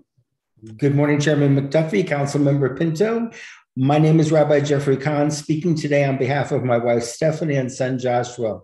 We're Ward 4 residents and own and operate Takoma Wellness Center, district's first licensed medical cannabis dispensary, which God willing will celebrate its 10th anniversary next year. You will soon hear from Yvette Alexander representing the position of the District of Columbia Cannabis Trade Association, whose remarks we fully support. 2021 was the first full year that ABRA served as the regulatory agency of DC's medical cannabis program. The good news is that for a government agency, ABRA is truly top notch. Director Moosally, his staff, and the ABRA board are approachable, accessible, responsive, demonstrate a real appreciation for the challenges we face, and have made a real effort to help us resolve them. The bad news is, that the same first year with ABRA saw the number of DC patients registered in our cannabis program plummet. We are falling well below the critical mass necessary to maintain our program. Why? Because our patients, before they can walk in the door, they must first see a healthcare practitioner for a recommendation and then apply to ABRA for a card. Those who visit the dozens and dozens of businesses that call themselves I 71 compliant simply don't have to do that. Seeing a doctor and waiting for ABRA, the two major barriers to dispensary access are investments of time and money that a lot of people are just no longer willing to make. Instead, they can go to I 71 establishments without either a doctor's note or an ABRA card, and increasing numbers, they are doing just that. What do we need? We need the option of self certification added to the list of acceptable healthcare providers. In addition to physicians and dentists and naturopaths, folks should be able to self attest to their intended medical use of cannabis. We're delighted that ABRA and the Council have agreed to precisely that type of self certification for people like me, over 65. We need it for all adults, especially veterans and folks who receive SSI, for whom the out of pocket expense is simply prohibitive. And we need to allow dispensaries to enter DC patients into ABRA's Metrc system ourselves. The requirement to send an application, an application off to ABRA for processing can be eliminated by dispensaries entering patient information into the system directly. Currently, dispensaries call ourselves for out-of-state patients. We want to be able to do the same thing for DC patients so our program can grow and thrive and we can all celebrate with ABRA this time Rabbi next Khan, year. You're well over your time. I wanted to I think you had a little extra time there, but I want to turn to uh, the next witness. If if we could have, I'm told I'm not sure if Stephanie Kahn and Joshua Kahn actually plan to testify. They're on the list. No, but- they won't be. Okay, got it. Thanks. Um, we'll turn then to uh, my uh, former colleague, Councilmember uh, Yvette Alexander. Good morning to you. Thank you for being here, and uh, you can begin your testimony. Uh, good morning, Chairman McDuffie, Councilmember Pinto, members of the Committee on Business and Economic Development. I'm Yvette Alexander. I'm a consultant for the District of Columbia Cannabis Trade Association. Linda Mercado Green is the chair. Um, the association was formed and they represent legally licensed medical cannabis dispensaries and uh, cultivation centers in the District of Columbia. Since October of 2021, the medical cannabis program has been under the regulation of ABRA, and the association has been pleased overall with this move. However, we are still concerned with the steady decline of registered medical patients under the program and the overwhelming increase of illegal cannabis businesses in our city.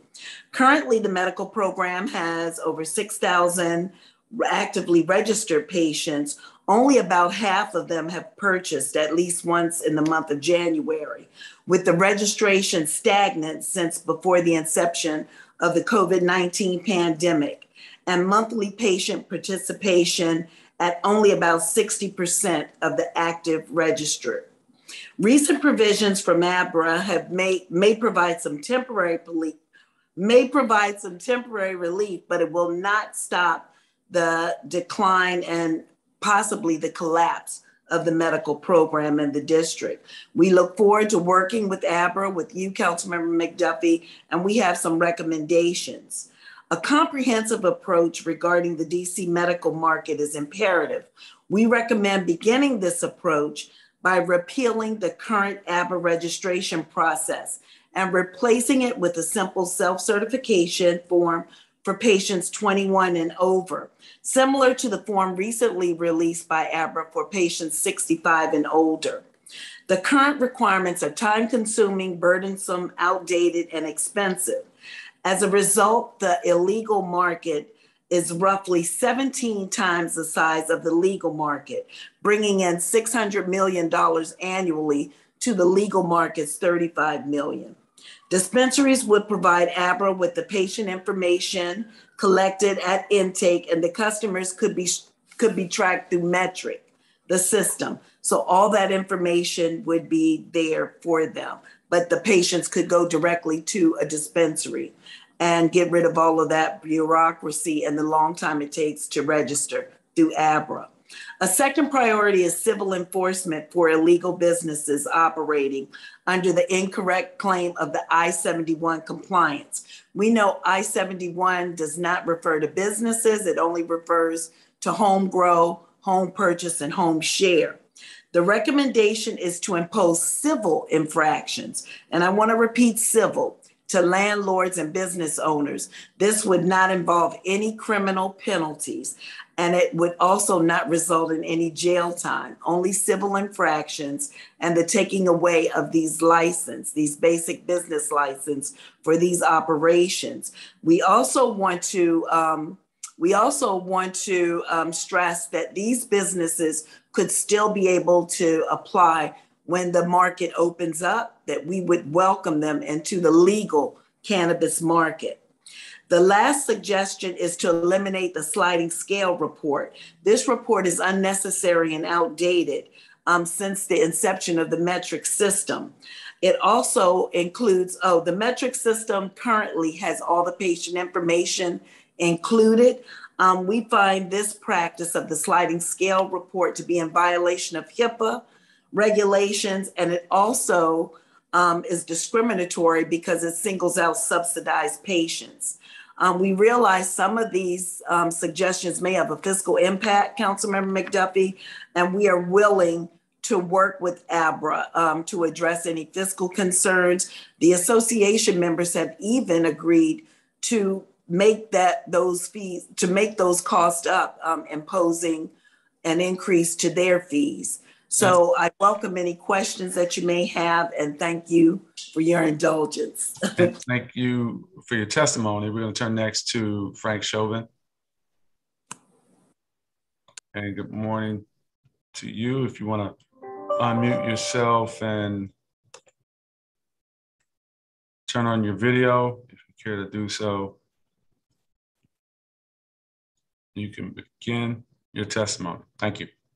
Yes. Uh, good morning. Or I'm sorry. Good afternoon. Actually, good morning, um, uh, Chairperson McDuffie, Council Member Pinto, and uh, members of the committee. My name is Frank Chauvin, and I've been serving as a volunteer community member of the ANC 1B Alcoholic Beverage and Regulations Committee in Ward 1 for two and a half years.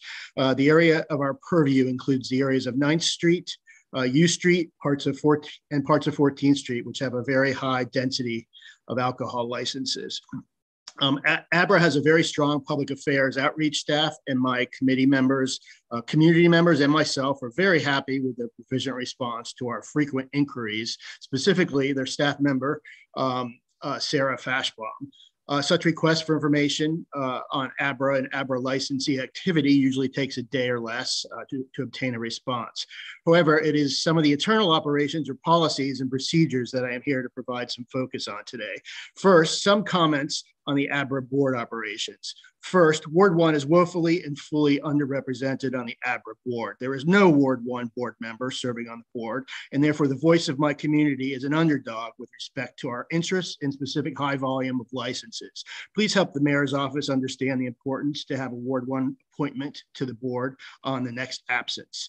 Secondly, ABRA refuses to consider and apply DC Code 25 314 which states whether issuance of the license would create or contribute to an overconcentration of licensed establishments, which is likely to affect adversely the locality section or uh, portion in which the establishment is located. Currently, ABRA refuses to uh, acknowledge this important code.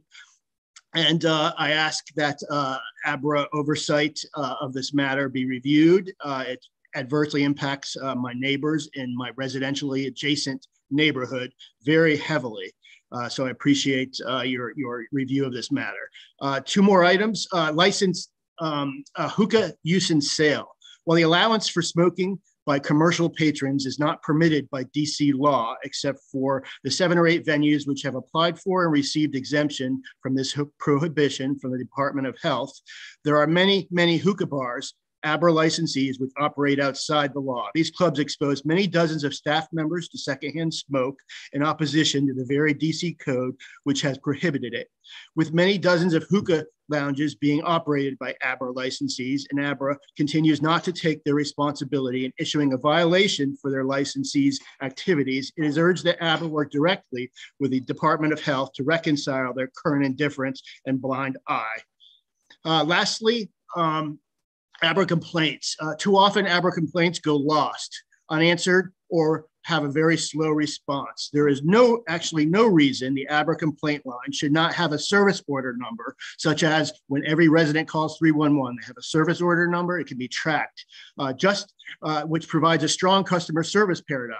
ABRA is urged to adopt such a system whereby each complaint is taken fully and uh, being able to be followed up by a resident who too often feels left out of the process and unsatisfied and uh, goes away with a, uh, tail between their legs uh, because we're not getting the service we deserve to put uh, bad operators on notice and, and uh, change their ways of operations. Uh, thank you very much for your ears today. I'm, I'm willing to here to take any questions. Thank you for your testimony. next is Chris Conrad, and good morning to you. You can begin your testimony. Good morning, Chairman McDuffie. Uh, thank you for giving me the time to speak this morning. Um, I'd like to discuss the, the, agency's involvement in the licensing process for alcohol distributors, uh, and specifically liquor stores in underserved communities in Ward 8, uh, where I live. So, uh, just a brief bit of background my exposure to ABRA involved working alongside Chairperson Adofo to protest the renewal of a local liquor store's distribution license in Ward 8. Uh, prior to that uh, protest proceeding, the store had played host to at least seven shootings, including one that claimed the life of a 15 year old student at a nearby school, Maurice Scott. This spate of violence was the impetus for our protest, but not the comprehensive basis. Uh, we uncovered rampant liquor law violations, drug distribution, violent crime, property crime, etc. Uh, all this went to the appropriateness standard and showed that the store could not carry its burden. But I'm not here to uh, relitigate the protest proceeding, uh, which renewed the store's license and allowed it to continue to serve as a hotbed of violence. Uh, to note, two days ago, there was another shooting right on the block.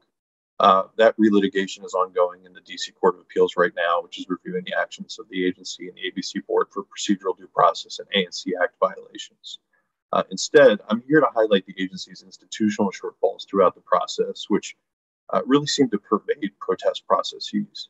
When the chairperson and I first discussed the prospect of filing a protest, ABRA's legal counsel uh, discouraged us. They cautioned, and I quote, license revocation does not occur except in the most egregious circumstances. That's not the correct legal standard and only operates to discourage meaningful civil discourse in the community. Uh, undeterred, we filed a group of five protests in parallel with Chairperson Adofo's own protest. Uh, and one of my neighbors was unable to make the status conference that was held initially due to a criminal court appearance. Our petition was dismissed, and I had to file a motion for reconsideration uh, in order to get it reinstated. After the protest was reinstated, I submitted a FOIA request to the agency's FOIA officer, Austin Hill. After no response, I inquired again and again and again. And finally, I received a heavily redacted production, which included no police incident reports, which should be disclosed to the agency pursuant to the code. I was told that the agency does not receive these incident reports and would provide none to me. Uh, the latter was true, but the former was a misrepresentation. I used the limited FOIA disclosure that we received to request that the ABRA uh, agency issue subpoenas to the store clerks who sold alcohol to minors, uh, as disclosed in the FOIA disclosure. Those subpoenas were issued, but were not enforced. In fact, they were refused to be enforced. Uh, Chairperson Anderson commented that we've done our part. This withheld from the protestants crucial witnesses that we needed to prove our case. And the list goes on. The agency cited improper federal rules of procedure to make filings more onerous, mistakenly served the board's final order on a random email instead of mine, excluded police reports as hearsay, contrary to controlling DC law, excluded liquor law violations from consideration of the appropriateness of the establishment in the community because the store didn't commit those criminal violations and so couldn't be held accountable for what was happening on their property. Again, the list goes on. But worst of all, Member Short exposed that other members of the board had made their decision before the ANC and us, the, the group of five, had put on our evidence. Uh, it's a severe procedural due process violation. And so all this leads me to two points and recommendations that I would oh, make. Uh, you actually over your time, if you want to summarize it, the, the two Yep, yep. Just final two points that I want to make. First, the agency just really needs to fulfill its crucial governmental function. It needs to be taken seriously. Licenses should not be rubber stamped before counter evidence is marshaled and presented to the community. Second, we need a better way to further the truth seeking function of the agency's administrative hearings. That, to that end, the agency needs to have standing to appeal, needs to have access to crucial information. So uh, I, I, would just urge uh, you and, and all involved to, to try and eliminate the obstructionism that we've encountered. Thank you for your testimony. I'm gonna have to cut you off. You're about a minute over your time, and I appreciate you, it. Go next to Joy Doyle. And good morning to you. If you can, uh, you already unmuted yourself. Uh, thank you for being yes. here, giving your testimony. Thank you. Yes, hi. Thank you for having me, Councilman McDuffie. My name is Joy Doyle. I'm a resident here for almost 20 years in Ward 8. I'm a small business owner, a member of the Congress Heights Homeowners Association, and I'm a subject matter expert in stakeholder and communication management diversity, equity, and inclusion. I'd like to start by sharing my personal experience when testifying in front of ABRA. Um, this is related to equitable engagement and cultural competency communication. Um, Chair, uh, Chairperson Donovan Anderson was leading the hearing for this testimony. His engagement practices were rude, discourteous. They were perceived to be intolerant for the community witnesses um, for their lack of preparation and exposure to the ABRA testimony process. Um, the discourteous behavior to um, Representative Carolyn Reed, Dr. Reed, who holds a doctor um, degree herself, myself as a PhD student, to me was mind blowing. It takes courage for community members to come in front of any board and publicly testify and to be treated with such disrespect is no more than intimidation and bullying tactic. How educated do we have to be to come before these boards? How, how groomed do we have to be? Not just to be invited in the room, but to also have a seat at the table. So if ABRA is choosing to to engage community members in such a disrespectful, intimidating way, then I have to ask for them to invest in resources for cultural competency and humility training and also equitable engagement practices. We cannot have this as we're trying to do this social justice work to change our neighborhoods. The lack of oversight of ABRA and the disconnection that they're making on the impact of these minority communities with so many liquor stores in underserved areas is the greatest example of being a gatekeeper to white supremacy. The research shows that African Americans face higher density of liquor stores than whites. And the research shows this mismatch of the alcohol demand and supply in urban neighborhoods. This is co- uh, constituting environmental justice for minorities in low and low income persons in underserved communities. Um, and just is a direct contribution to the social determinants of health. If, if I could ask someone to please mute their phone, and I'm going to ask to hold my time. Yeah, my apologies for that. And I'm sure uh, Mr. Chauvin, if you were present, would perhaps apologize for that. If staff could mute Frank Chauvin, okay, he's been muted, uh, and we'll give you another. Can we uh, give an additional 30 seconds to Joyce Doyle? We know that the research finds that the number of alcohol licenses on the 10, on the census tract uh, by 10% raises a total crime rate of 9.2. And we also must think about the externalities, the negative externalities as it's impacting uh, homeowners like myself and what we call Black gentrification, which really serve as a middle class to underserved communities.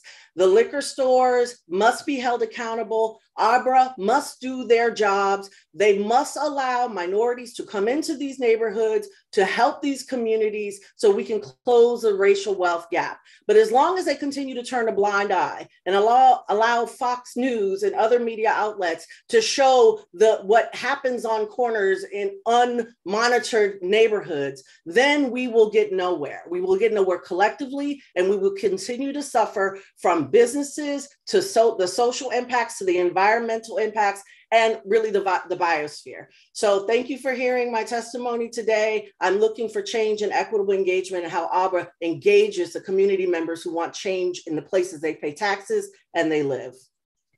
And thank you for your testimony. We're going to turn next to Kymone Freeman. It's good to see you. Uh, you begin your testimony. Thank you. Peace and blessings, and good afternoon, Councilman. Good luck to you, by the way, in your AG race. Um, this is Kymone Freeman, representing uh, WEAC Radio, Ward 5 and 8. And I'm here to advocate that a racial equity lens be applied to uh, ABRA's existing um, uh, uh, rules and regulations and to their potentially expanding scope of work. Um, I want to point out in the I-71 uh, that we've been uh, faced with the allegation that we have a black market um, this is, um, I, I, this, I think is a complete uh, exaggeration of the facts that Black people have been uh, overly policed, uh, overly incarcerated, and still are the number one arrest for uh, any weed possessions in the city. I-71 um, laws allows for uh, the consumption of, of weed uh, on private property. And we all know who owns most of the private property in the city. We also know that it doesn't allow for the consumption of marijuana uh, in public housing. We know who all um, comprises public housing in Washington, D.C. So we see a disparity right then and there. And so to, um, and, and there, there was um, efforts to further um, extend criminal penalties um, to Black people uh, uh, for weed consumption. Uh, but those uh, efforts were defeated, and now they're in their desperation uh, to maximize the profits of uh, the uh, existing um, dispensaries who are blaming and scapegoating um, Black people for any potential loss of revenue when there's actually the delay of the, um, the licenses renewal that have nothing to do with the I-71 participants. So I want to point that out. then two, um, we don't seem to have the same type of um, um, um uproar about the oversaturation of liquor stores in um, Black communities. Uh, we tried our best to get a liquor store shut down when a six-year-old girl was murdered uh, at the corner of uh, Luther King Avenue um, and Malcolm X Avenue. Nothing's there but uh, there, but a food desert. There's seven liquor stores in a one block radius of that intersection, uh, but no one could actually, on the ABRA board, two council members, and even the mayor itself can answer how many liquor stores are too many liquor stores. And we have yet to address that.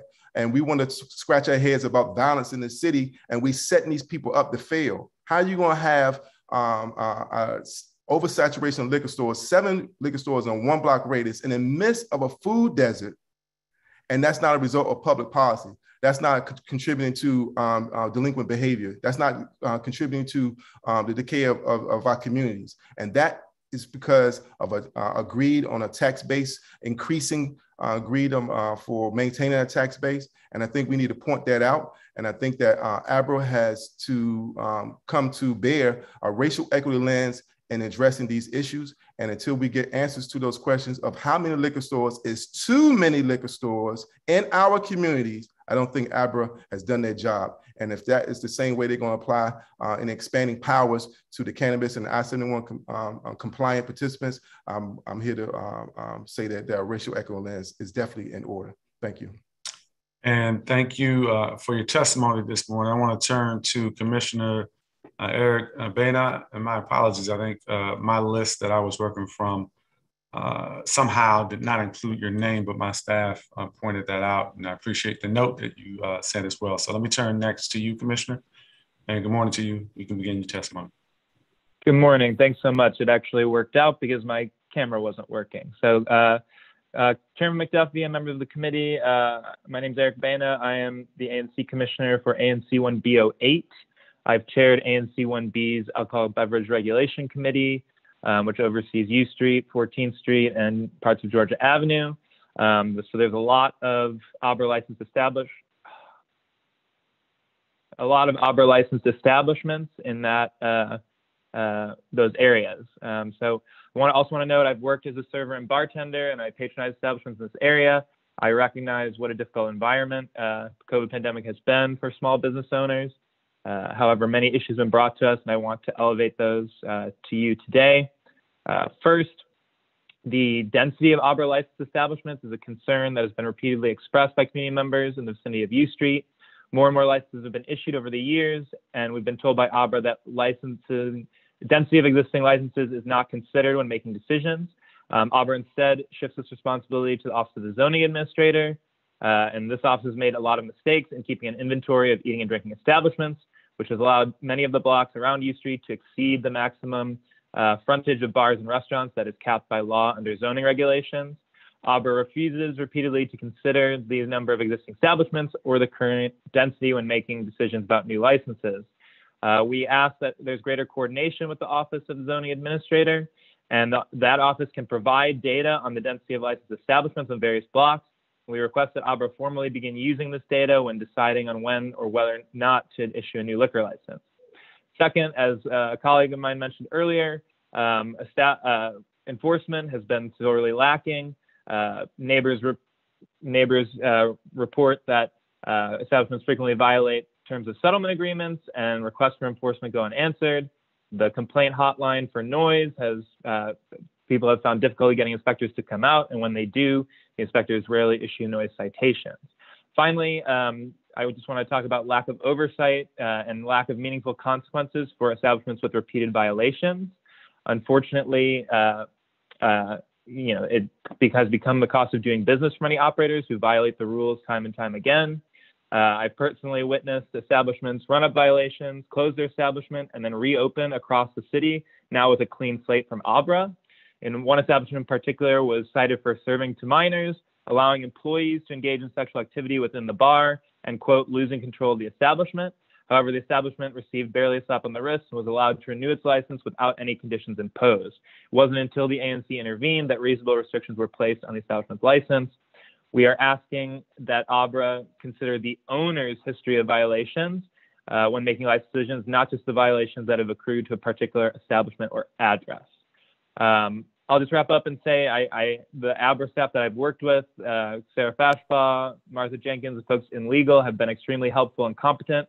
However, more support, communication, and accessibility is needed, uh, especially in ANCs like ours, where there's a high number of ABRA licensed establishments. Thank you.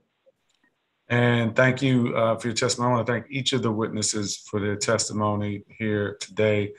Uh, let me start just really quickly. I don't know if I don't think I see Councilmember Pinto right now, but staff, uh, if the council member or any of my colleagues appears, and, and please put me on the clock. Um, I only have a couple of questions for the panel, but uh, Commissioner, you you mentioned having it sounded like uh, a pretty decent relationship with at least some of the folks who you have engaged with at ABRA, and you, then you mentioned toward the end of your testimony additional resources.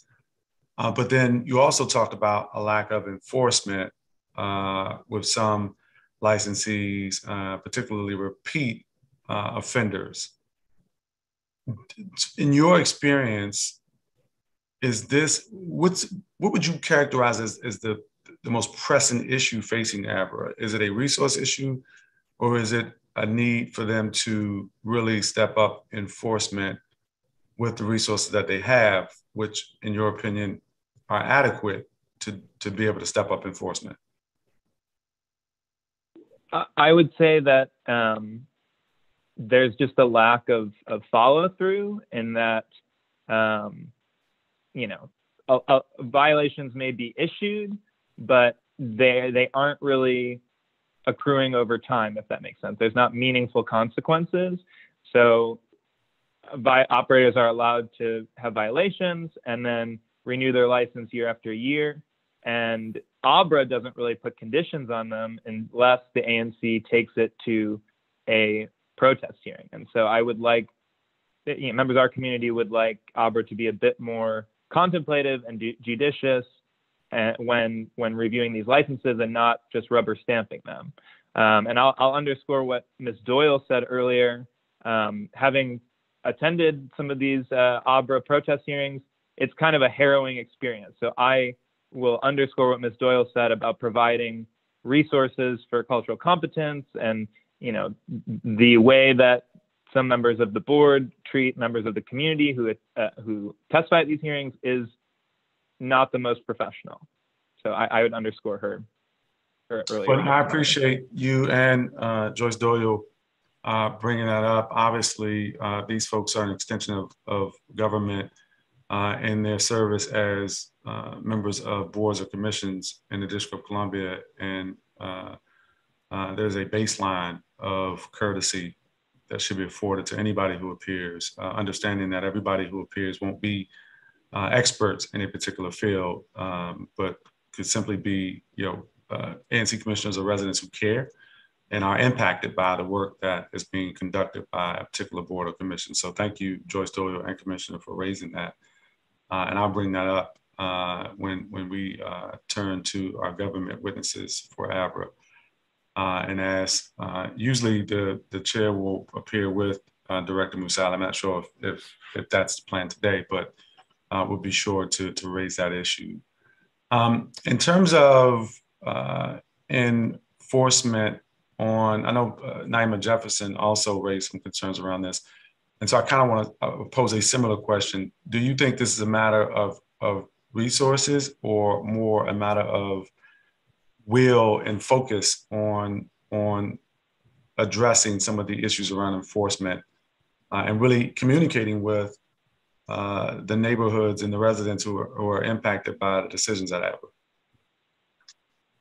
Um, Oh, well, I was going to ask Jefferson. Uh, Naima Jefferson and Joyce Doyle. Okay.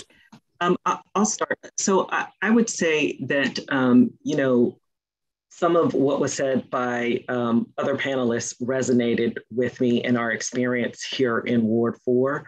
Um, I don't, I, I, wouldn't attribute it necessarily to resources. I would attribute it to there being an equity in enforcement, um, meaning that um, when it is um, brought up in, in an investigative report, there's often an offer of compromise um, that uh, doesn't necessarily result in suspension or revocation. We have an establishment in our community that had three cease and desists from the Department of Health for hookah smoking, even had a closure for hookah smoking, and they are still operating today. They also had building permit violations. They had uh, violations with the fire department. Um, they uh, we brought it up to DCRA that they're selling hookah without a license, and so therefore the district is even missing out on sales tax revenue, um, and they're not properly reporting um, their revenues to ABRA uh, in, because they're they're really not supposed to be selling hookah, and none of that is investigated or moved forward. Um, we sometimes get the excuse that, um, you know, well, oh, that's outside of our jurisdiction. But actually, if you look at the enabling statute as well as the regulation, not only is it for licensing and regulation, but there's also a health component to it um, that is in there. And that often gets ignored. And I know recently there was a case um, I think it was with um, MK, where um, it was appealed, and um, the the um, my understanding is that the opinion came back that ABRA doesn't have um, enforcement over health, and why they don't have enforcement over health directly, they do have enforcement in the actual uh, municipal regulations about complying with other district laws and regulations. That is explicit, and that's the piece that is not being enforced um, consistently. So um, I, I, think there there may need to be um, the, the, issue is really at the board level, to be honest. Sure, no, and it also sounds like there's, there's, a level of coordination that is not occurring uh, with sister agencies. Uh, where and I see Councilmember uh, yes. Uh, shaking her head, and I know uh, there are, and I made this point, I think, in a recent hearing, or maybe as it relates to some bill that that came before the full council. Uh, but you know, I've, I've, talked with my staff about the need for coordination uh, uh, in terms of ABRA's ability to do its job. Now, now obviously, ABRA's statute speaks to what its authority is, but I think it's it's pretty uh, common that uh, a, an assist from uh, an agency, be it Department of Health or DCRA, in many cases is warranted in order for agencies to be able to effectively carry out their specific missions. And I, I hear that in your testimony, and I've heard that uh, in other instances with respect to ABRA and other agencies uh, needing to work better and sharing information so that the, the right hand of government understands what the left hand is doing and ultimately uh, best serving the residents of the District of Columbia. And so Uh, Joyce Doyle, you have your hand up. Yes, um, you know, to embrace diversity, equity, inclusion, and accessibility uh, as core values across any business or agency, it starts at the top with leadership. Behavior, whether good or bad, is allowed. So um, some of the engagement practices that have been experienced have been allowed. And my story, obviously, today is not the only story. So, yes, we can ask for resources for training and doing better. But if we don't have a shift in leadership, if we don't have a shift in behavior, ethical behavioral practices, then how can we dre- address some of these social and environmental issues that are impacting these underserved and marginalized communities? There is no possible way. Now, if we're going to continue with the hands off approach um, based on the internal policies within ABRA, then I'm going to suggest that we follow President Biden's uh, executive order 13985, I believe, that we can start doing these equity barrier analysis to look at the processes and procedures and policies that exist within these agencies and then do these externality um, uh, uh, uh, research studies to figure out how are they impacting the small businesses, how are they impacting can, can the, the social environment, and so on. Yes, yes. Are you familiar with the REACH Act? The REACH Act, no. Okay, let, let me, I love to have my staff share some information with you about it. I actually authored, and REACH stands for Racial Equity Achieved Results. Uh, it actually established uh, uh, what is, should be a racial equity framework, uh, both at the council and in the executive and the other agencies that do the work of the executive, including boards and commissions. There is an Office of Racial Equity at the council. We call it the CORE for short. Uh, which requires uh, that uh, some bills that come before the council are scored using a racial equity impact assessment. Uh, it also requires the executive to develop a similar tool to measure performance of the executive branch uh, agencies. And uh, Dr. Amber Hewitt uh, heads that office, so I would encourage you to reach out directly to her. Uh, Dr. Brian McClure uh, heads the, the Council's Office on Racial Equity. I appreciate the, the um, what President Biden has been able to, to do with this executive order, but I think we have a great uh, a bill, a law that is in place, uh, and we, we really need to get up to speed uh, and do more that is required under the REACH Act. But if you haven't seen it, give me your background. I heard you mention uh, your work and your background. I would encourage you to check it out. And feel free to reach out to, to, to my office uh, if you have any questions about that. I will. I just want to have one last statement. Until we, if we have to continue to fight intercultural prejudice when we see minorities in positions that are not doing this work, then really what are we doing and where are we going? It is, it is a true issue. There are dollars here. There are people moving into these communities, particularly Ward 8, that could help build the economic development, that could small businesses, but we can't walk up on Martin Luther King and Malcolm X because of these barriers. And so if we don't start taking accountability and also maybe asking these liquor license businesses to have social impact statements themselves and being held accountable, or maybe even becoming B Corp to benefit corporations, that might be another opportunity so that we can make change. The Congress Heights Homeowners Association, we held an equitable engagement meeting with the Mart liquor owners. And let me tell you this after the millions and millions of dollars they've made over 25 years, they still were unaware of the impact of their business model to this community here. And gotcha. so we're doing the work, let but me, we need leadership to change. Thank you. Thank you for your testimony. And uh, again, I would encourage you to reach out to the Council's Office of Racial Equity as well as uh, the uh, Office on Racial Equity uh, within the executive branch as well.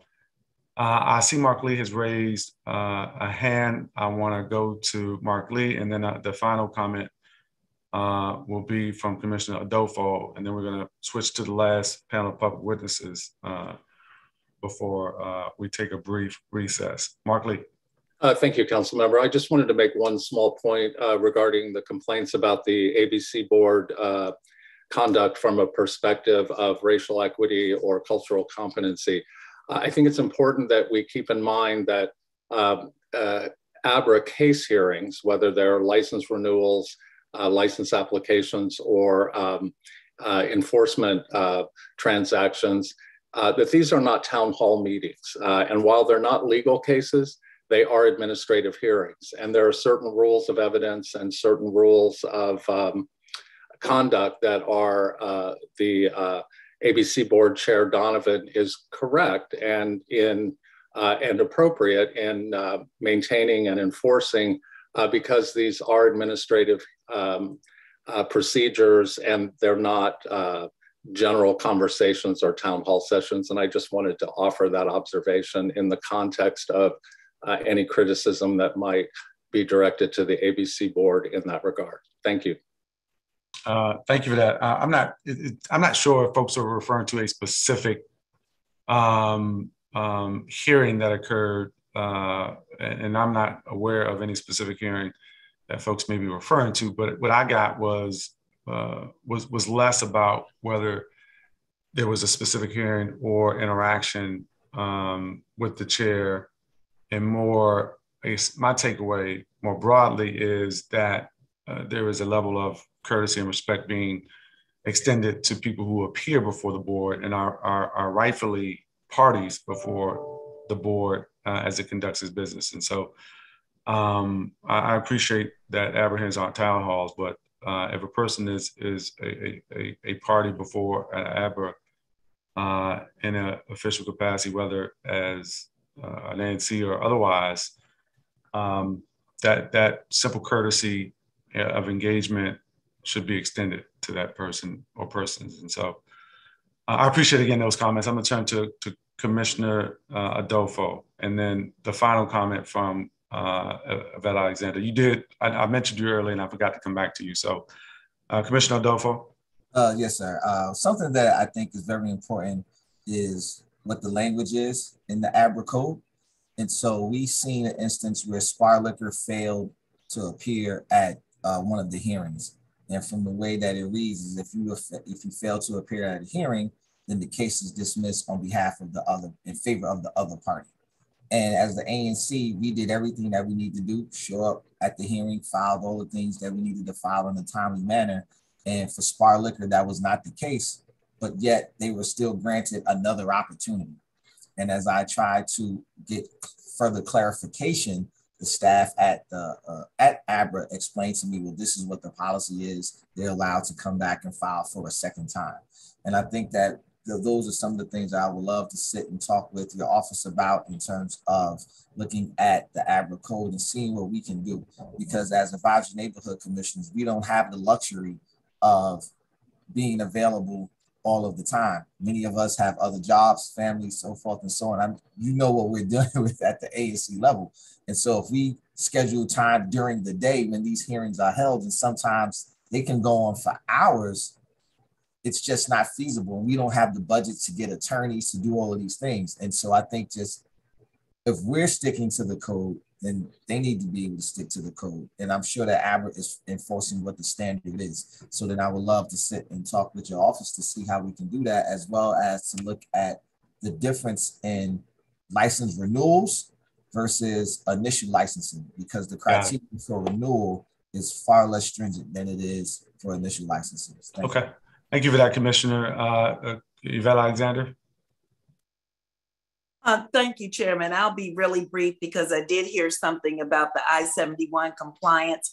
I think when we're talking about enforcement, because ABRA's realm of responsibility has expanded now to the cannabis industry, maybe they need to have individual inspectors that can focus on cannabis, that can focus on nightclubs, that can focus on um, the, the liquor licenses so that they won't be overwhelmed and they could get around to the enforcement that they need to get to. But I just wanted to stress I 71 is not a racial issue, it's an issue of perception and, and abiding by the law. Um, we know that I 71 is not intended for businesses. Gifting is illegal. I want to make that clear. For businesses to gift, that is illegal.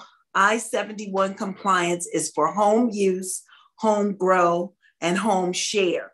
In terms of the inequity for where people can consume cannabis, the legally licensed um, dispensaries now have the opportunity to invite those that are not able to consume in their private residences, they can consume in the dispensaries in a safe space. That has been introduced in regulation. So that is open. So there's no discrimination there. But the gifting, I want to stress, is illegal and we need civil enforcement. The majority of the 600 million annually in sales is coming from out of state where these products are not tested and we don't know if they're safe. We don't even know what our district residents are consuming. There's no way that this is from home grow um, with I 71 when there's over $600 million in sales annually. These are coming from out of state junk that's that other states are not selling. They're bringing into the district of columbia. So as an african american woman speaking i want african americans to open up businesses. I am wholeheartedly, and the association is wholeheartedly in support of social and racial equity in the cannabis business, but it must be done legally. Let me ask you a question. Do, do yeah. you feel like the, the the there is? I mean, ABRA was obviously an agency that was was established to to deal with um, uh, alcohol.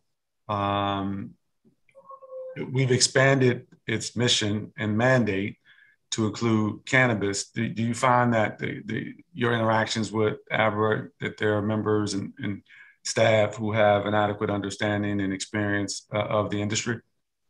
Uh, there needs to be more. Uh, there has been a shift. There, there's some people, um, Mr. Gordy, Sean Gordy, he's well aware of the industry. There has been some shift of people from the Department of Health to the agency that have assisted.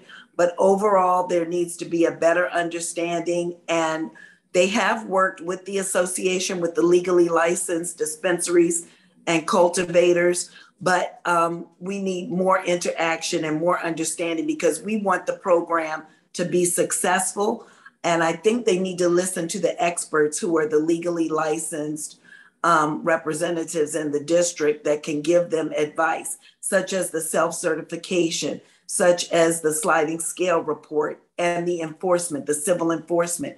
These can all be um, a great, of great assistance to grow the program and so that right. we can into the adult use program. Thank so you. I implore them. Yeah, they, they have been working with us, but we need to really, we've been reaching out to the council, the mayor, and ABRA um, and it's not rhetoric from a paid lobbyist. I'm not a lobbyist. Let, let, let me, I don't want to turn it into a I'm reading the, the um, comment. Well, I'm, I'm reading not, the I'm comments. Let me stay away from the comments. Let's stay away but from no, the chat. But ABRA, um, they have been working with us. Um, I can only speak for our interaction, the board, as well as Director Moosally. Is very responsive to us. Thank you so much. And I thank everybody on this panel for their comments. Uh, and I appreciate the observations made by Felicia Danza as well. I always appreciate labor uh, providing a perspective about how these agencies are interacting with its workers. That's very helpful.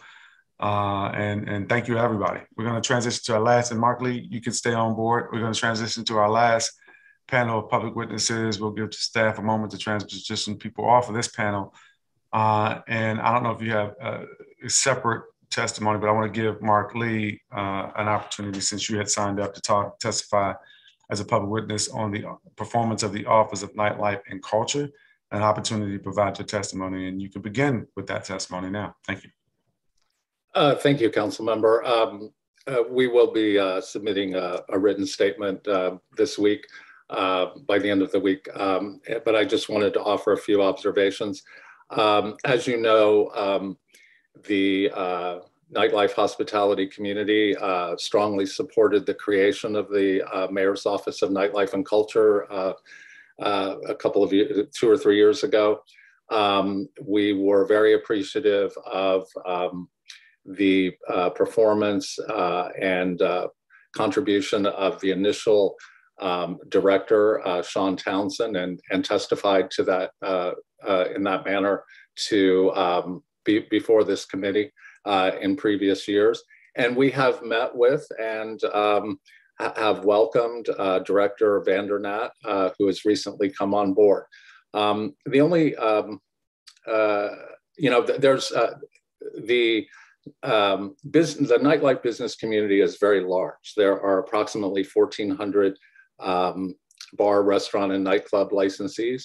Uh, so just in that realm, they have a huge uh, in, uh, uh relational uh, obligation. Um, they have a small staff and they have a lot of work to do. So we hope two things. One, that the council will ensure that they have the resources they need um, as Director Vandernat um, uh, uh, gets her feet uh, on the ground um, more firmly in her new role, um, that they have adequate resources to handle the large universe of licensees with whom they interact with.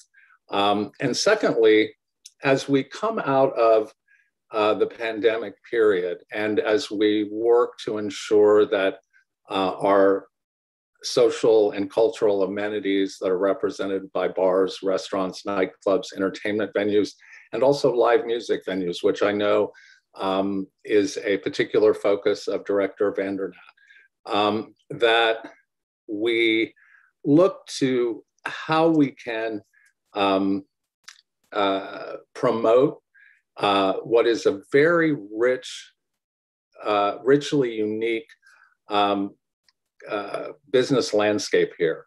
Unlike any other large city in the country, um, Washington benefits from having a 96% independently owned and operated small business um, nightlife environment for uh, restaurants, bars, nightclubs, music venues. And that's a very precious commodity that we want to be able to protect and preserve. And in the same way that Events DC uh, has the opportunity to market the city to tourists and conventioneers and to develop that business, I think we should look at part of our recovery being uh, the mayor's office on nightlife and culture being able to manage a marketing and promotion campaign, both within the city, within the metropolitan area, and within the region, and even nationally, to uh, promote this very precious commodity uh, we have here and to ensure that it exits the pandemic period uh, in, in as strong a position as possible. And so those are just a few thoughts and we'll offer some more in our written testimony. And thank you for allowing uh, us to testify today. And thank you for signing up to testify. Uh, I'll note uh, uh, Kathy Hollinger, who's president, CEO Restaurant Association, also indicated that she'll be providing uh, written testimony to the committee. Uh, we appreciate the work that the Office of Nightlife and Culture does. We look forward to hearing from its director later on this afternoon. Uh, and thank you. And we also look forward to seeing your written testimony uh, as well, Mark Lee. Thank you for all the work that you're doing. we certainly want to continue to support our small businesses in our, our nightlife and, and culture community. So thank you for that. The committee is going to take a recess uh, now. We're going to reconvene at 2.45 uh, p.m. Uh, and so the time is now 12.30 p.m. and uh, this hearing is going to recess. Thank you.